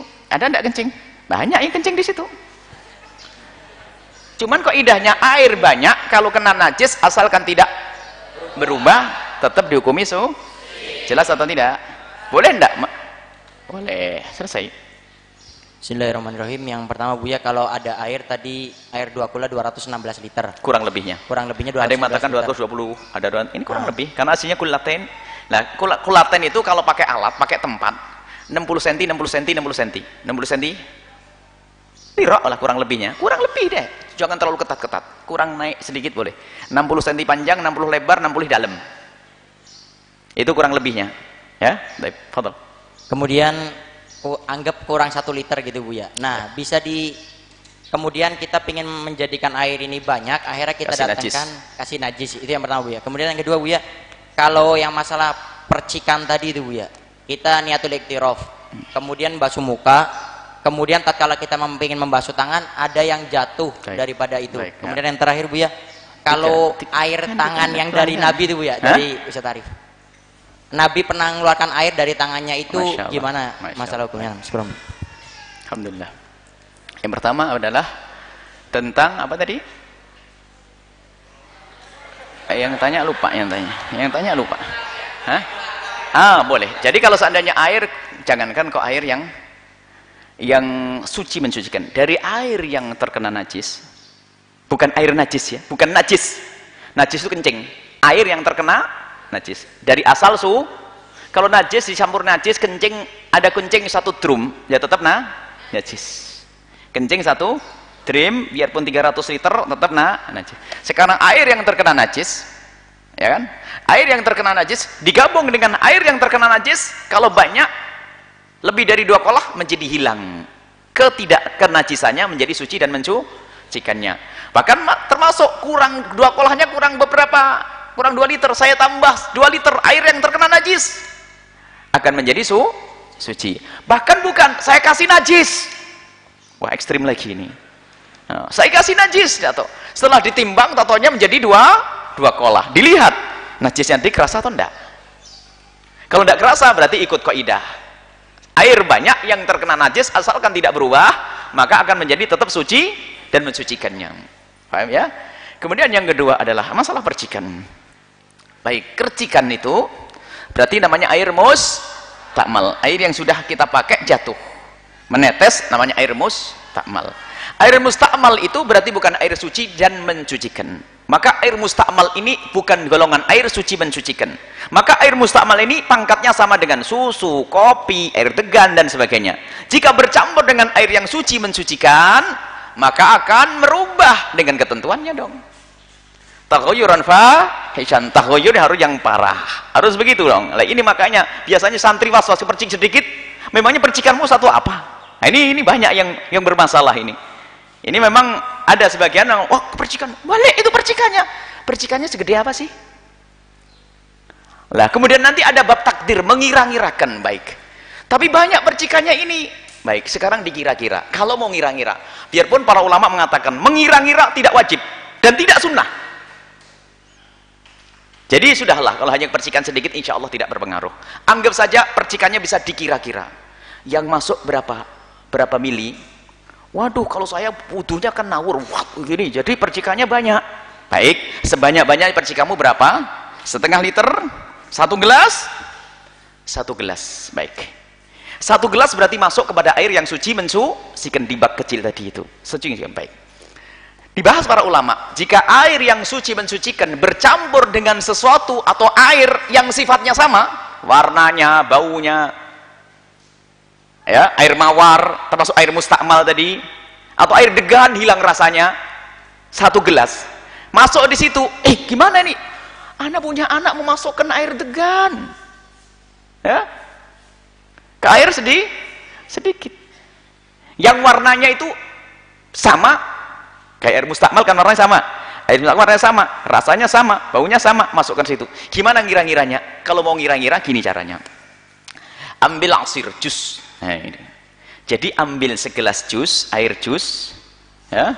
Mengambil katakan asir warnanya warna jus ya, ya. rasanya rasa roman rasa sudah anggap saja jus tidak usah repot. Jus satu gelas jus jeruk jus apa satu gelas. Satu gelas kamu dimasukkan ke tempat tersebut. Berubah tidak dengan satu gelas tadi? Kalau berubah, berarti nggak bisa dipakai bu, wudhu. Kalau tidak berubah, berarti masih bisa dipakai wudhu. Kalau benar percikannya satu gelas tadi, dikira-kira. Nah coba. Tak pikir ini kalau ngira-ngira, ini jadi orang sakit. Ini gila. Dari mana? Apalagi nanti ngira-ngiranya bukan di air ini, di air yang lain. Bukan di air ini, air yang lain lain cari air yang lain lagi sebanyak air yang ada di bak tadi yang kemasukan air mustakmal kita cari air bersih satu timba sama dengan itu baru kita kasih jus masukkan di situ kok bingung? Eh, itu wudhu aja pakai itu beres. Nggak usah pakai. Ini adalah gambaran para ulama hanya untuk memberikan pemahaman saja. Dan kemudian mengira-ngira tidak wajib. Pokoknya kalau memang nah berbeda kalau wudhunya nyebur. Tangannya dicelupkan giliran membasuh tangan. Tadi ya membasuh tangan. Sengaja membasuh tak dimasukkan ke bak yang kecil diangkat. Berarti mus takmal semuanya. Tapi kalau percikan tidak berpengaruh. Sebab sebanyak-banyaknya percikan kalau dikumpulkan tidak akan merubah air air tersebut. Jika seandainya percikannya itu dijadikan jus tadi. Ini pembahasannya di sana insya Allah yang ketiga apa? Ayat dengan Nabi SAW dari Nabi adalah perbedaan. Tidak masuk dalam hukum yang bisa dipakai wudhu bisa dipakai apa saja. Yang keluar dari Nabi SAW airnya air dari Nabi SAW dan nanti bisa di uh, dibahas sekarang itu air AC kan tidak dari bumi ini macam-macam hari ini. Air AC Hah? Gimana? AC keluar air saya tampung pakai wudhu bagaimana? Baik. Ahli fikih harus komunikasi dengan ahli ahli ilmu apa itu? Yang air naik itu apa namanya? Ya.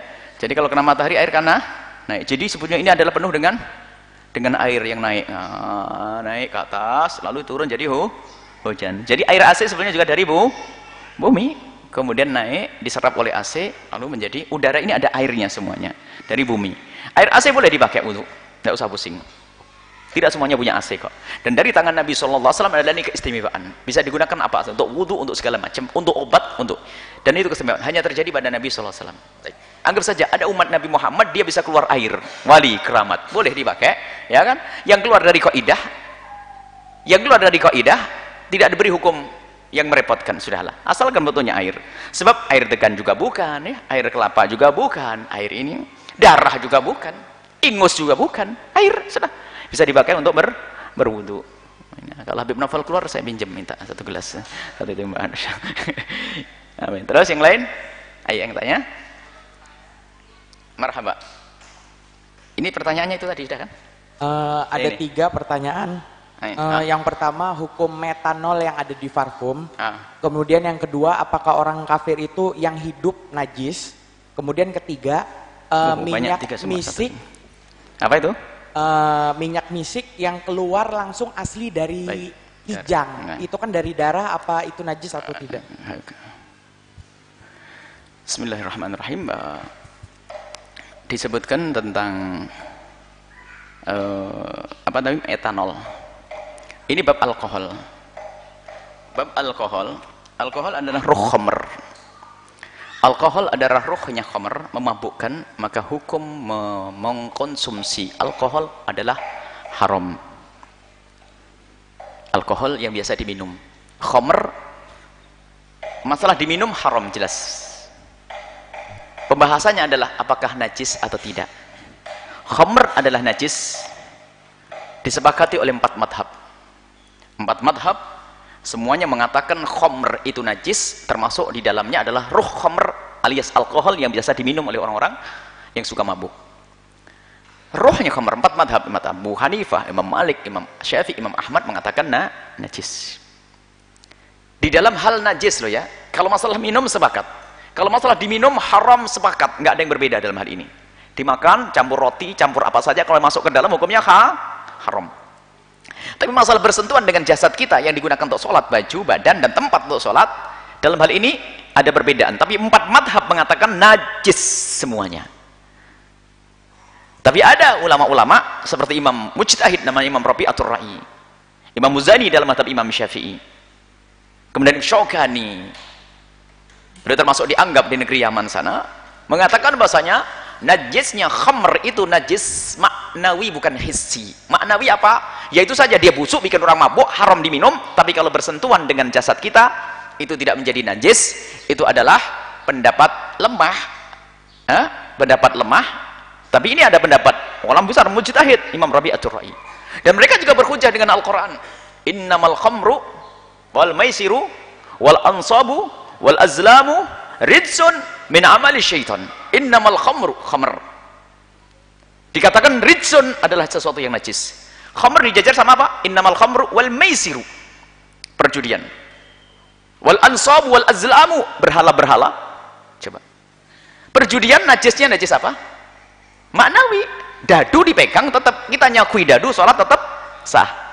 Ini hujah mereka yang mengatakan khamr itu najisnya adalah najis maknawi bukan najis hissi kalau bersentuhan dengan baju kita maka tidak akan menjadi sebab sholat tidak sah. Tapi ini pendapat lemah wahai anak-anakku semuanya. Tapi kamu harus tahu pendapat semacam ini. Pendapat jumhur adalah na najis. Kalau kau bersentuhan dengan khamr sholat tidak sah. Sudah selesai.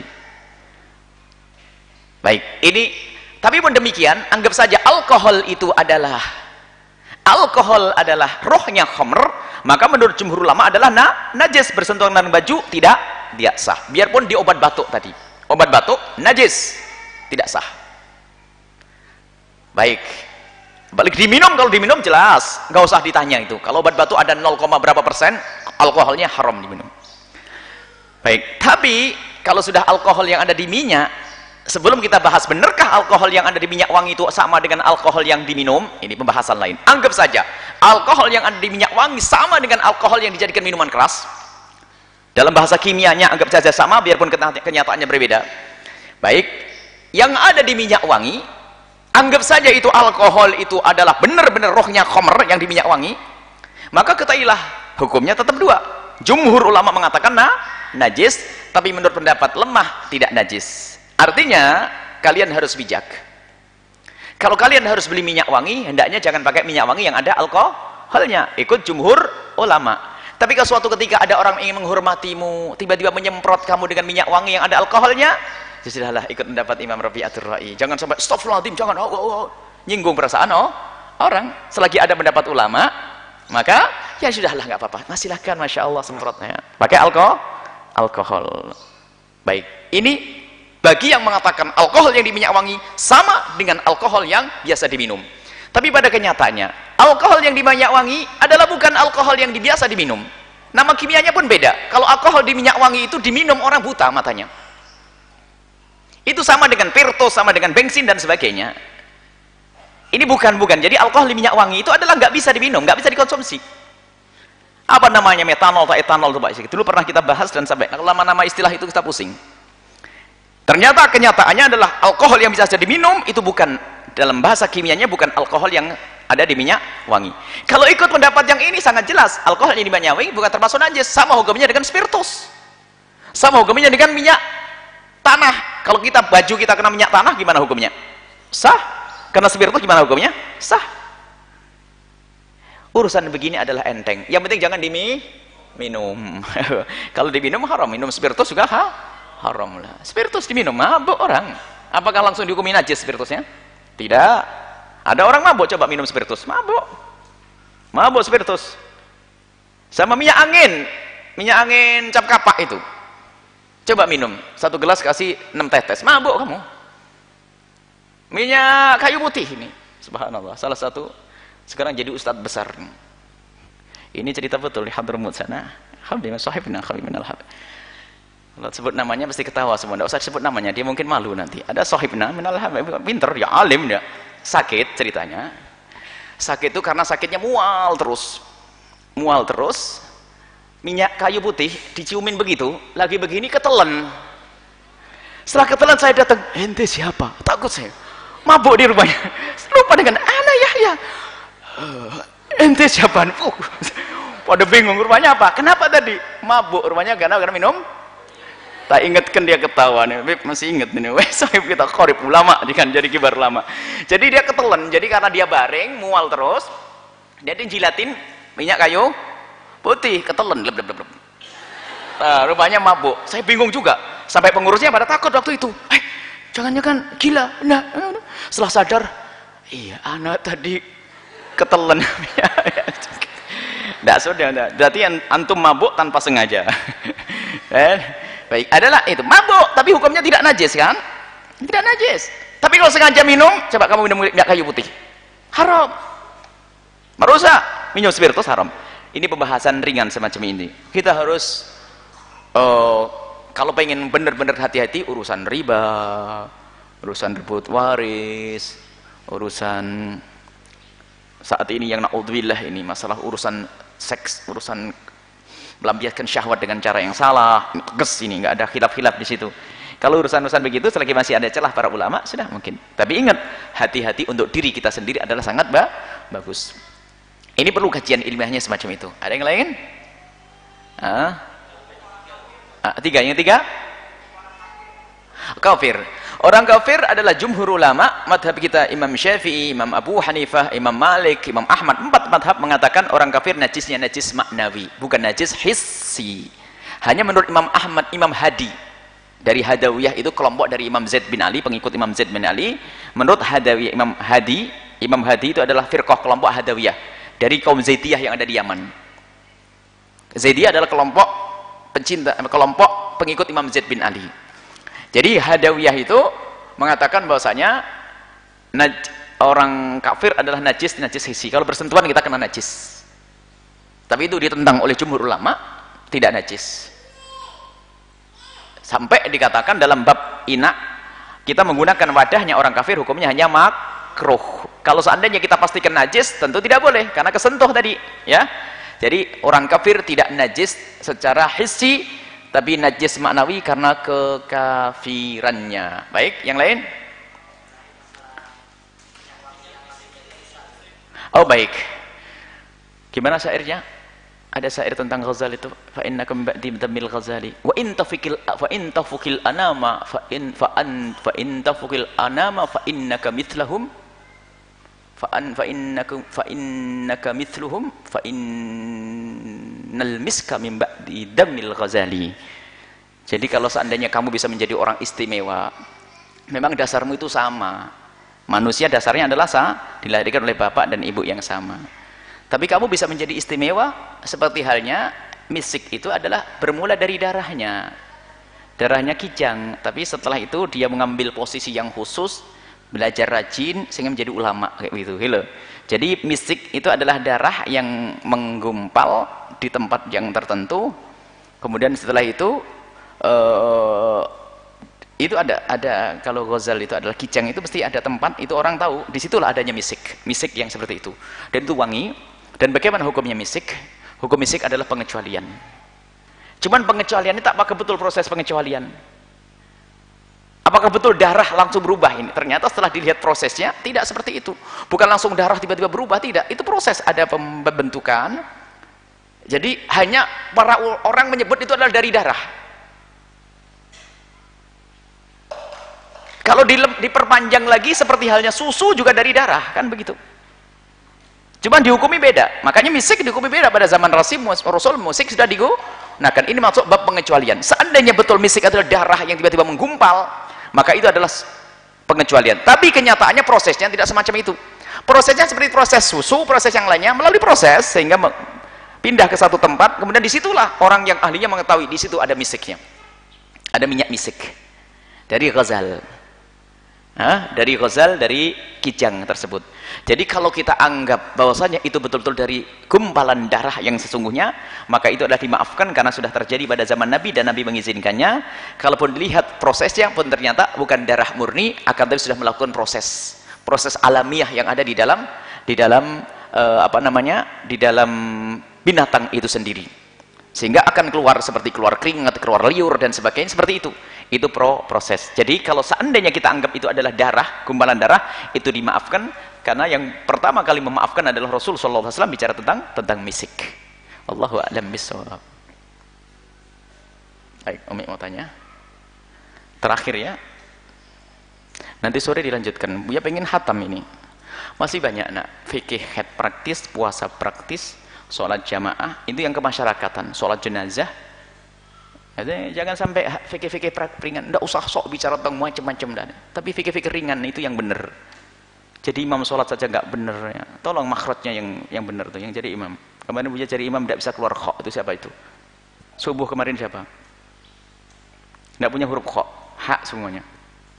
Bukan subuh tadi pagi, subuh kemarin. Belajar, jangan jadi imam kecuali belajar keluar makharijul huruf.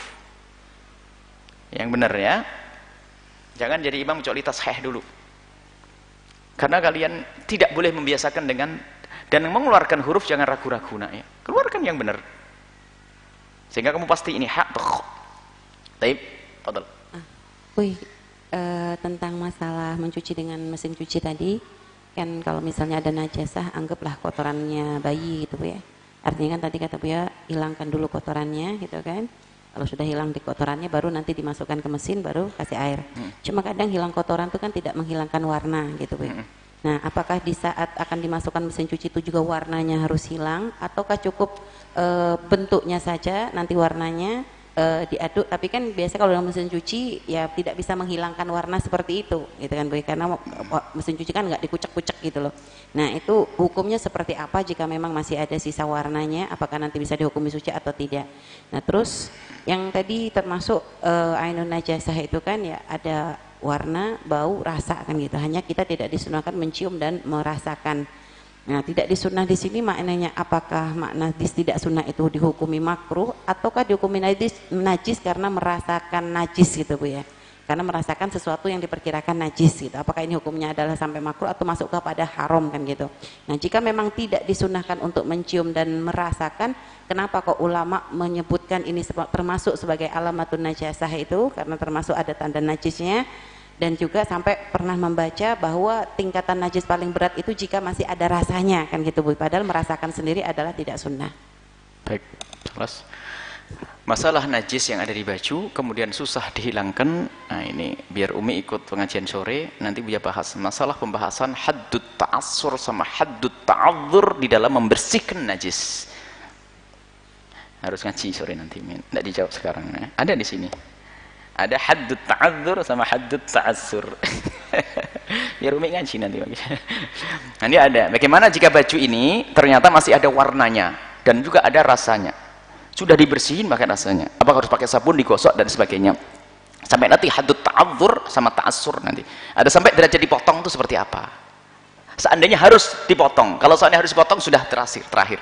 Nanti ada pembahasan adalah untuk membersihkan najis ada batas haddut ta'adzur sama haddut ta'assur disimpan dulu.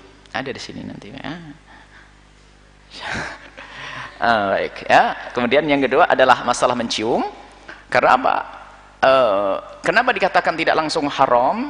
Karena belum tentu itu najis. Kenapa harus dikatakan haram? Ya karena belum tentu nah najis. Kenapa harus dikatakan haram? Mungkin najis mungkin ti tidak. Karena untuk mengetahui najis dan pendidikan dari Nabi agar kita tidak fudul, tidak pengen tahu akan adanya najis. Sudahlah, nggak usah dicium, nggak usah di, dijilat. Kemudian kenapa dibahas? Dibahas itu Umi, tiba-tiba kita menemukan sarung pesing gitu maksudnya. Nah, menemukan sarung apa? Pesing. Aduh ini mau ngompol nih kayaknya gitu. Tadi nggak ketahuan ngompolnya, tapi ternyata kecium bukan disuruh menci mencium. Jadi kok bau di kamar pesing baru di dicari tempatnya di mana. Itu bukan kita suruh setiap hari harus dijilat bukan pembahasan di situ untuk di situ maksudnya kalau kita menemukan satu tempat tiba-tiba ada pesingnya tidak kelihatan berarti pesing semuanya tahu pesing adalah kan kencing di situ Atau tiba-tiba kita ngerasakan dihidangkan sama orang es jus. Mm, ini rasa empuk. Mungkin pengalaman makan empuk mestinya misalnya. Misalnya, mm, ini misalnya ini. Oh berarti langsung menghukumi ini nah najis karena dia punya pengalaman. Misal. Jadi tujuannya itu bukan untuk kita penasaran lalu kita mencium lalu menjidat tidak. Baik itu saja insya Allah nanti akan lanjutkan karena waktu. Siap istirahat? Harus maksimal nanti. Sore jam 4. Yang mau belajar jangan telat. Telat tidak usah ngaji. Jam 4 sampai jam 5 tapi tidak cukup ini harus tambah waktunya. Ini belum bab istinja dengan batu belum tayamum tayamum agak agak beli juga tayamum insyaallah. Ah. kemudian sholat sholat lebih enteng sholat lebih mudah. Jadi ini mukaddimah ini yang susah. Yang bikin susah bukan ilmu ini orang salah faham di masyarakat itu yang bikin susah. Jadi susahnya bukan ilmu yang akan Buya sampaikan tidak. Yang menjadi susah karena banyak kesalahpahaman di masyarakat. Jadi Buya itu punya fikih salah faham nanti. Ada fikih salah salah faham. Ini badannya banyak orang ngajar salah faham. Bikin pusing umat. Masya Allah dan kalian jangan menjadi ustadz salah faham ini saja insya Allah Assalamualaikum alaina wa alaikum arifin wa ja'alakum minal ulama'il amilin. Min tu'ati al minat tu'ati al mukhrisin semoga Allah memberikan kepada kalian semua ilmu yang manfaat. Mensucikan lahir kalian dan juga mensucikan batin kalian. Menjadi kalian orang yang saling mencintai karena Allah. Juru-juru dakwah yang tulus. Juru-juru dakwah yang benar-benar kenal Allah dimudahkan segala urusan kalian dan urusan orang tua kalian. Dan semoga Allah SWT memberikan kepada kita ketawaduan. Dijauhkan dari kesombongan kesombongan. Sehingga ilmu yang Allah berikan bukan menjadi kita semakin sombong tapi menjadi kita semakin dekat kepada Allah harta yang Allah berikan bukan menjadi kita sombong tapi semakin kita dekat kepada Allah. Pangkat yang Allah berikan bukan menjadi kita sombong tapi justru kita dekat kepada Allah. Dan semoga semua nikmat ini akan mengundang nikmat yang lain. Dan semoga Allah subhanahu wa ta'ala menjangkan umur kita dalam ketaatan sehat walafiat mengampuni orang tua kita dan guru-guru kita semuanya. Anak santri, anak murid kita dimudahkan urusan ilmunya. Para wali santri dimudahkan segalanya urusannya. Panjang umur semuanya. Husnul khatimah panjang umur dalam teh sah, sehat walafiat dan taat kepada Allah Subhanahu wa taala. Dan Allah memberikan kelak kita husnul khatimah mati dalam dan bersih hati tidak punya permusuhan tidak punya kedengkian tidak ada kemunafikan tidak ada kekafiran yang ada hanya iman iman dan cinta sehingga kita mati husnul khatimah dalam keadaan iman iman الفاتحة أعوذ بسم الله الرحمن الرحيم. الحمد لله الرحمن الرحيم. مالك يوم الدين؟ إياك نعبد وأستعين اهدنا المستقيم. صراط الذين أنعمت عليهم المغضوب عليهم ولا الضالين. آمين يا رب العالمين. Bila taufik hidayah. Assalamualaikum warahmatullahi wabarakatuh. Bukan untuk bubar.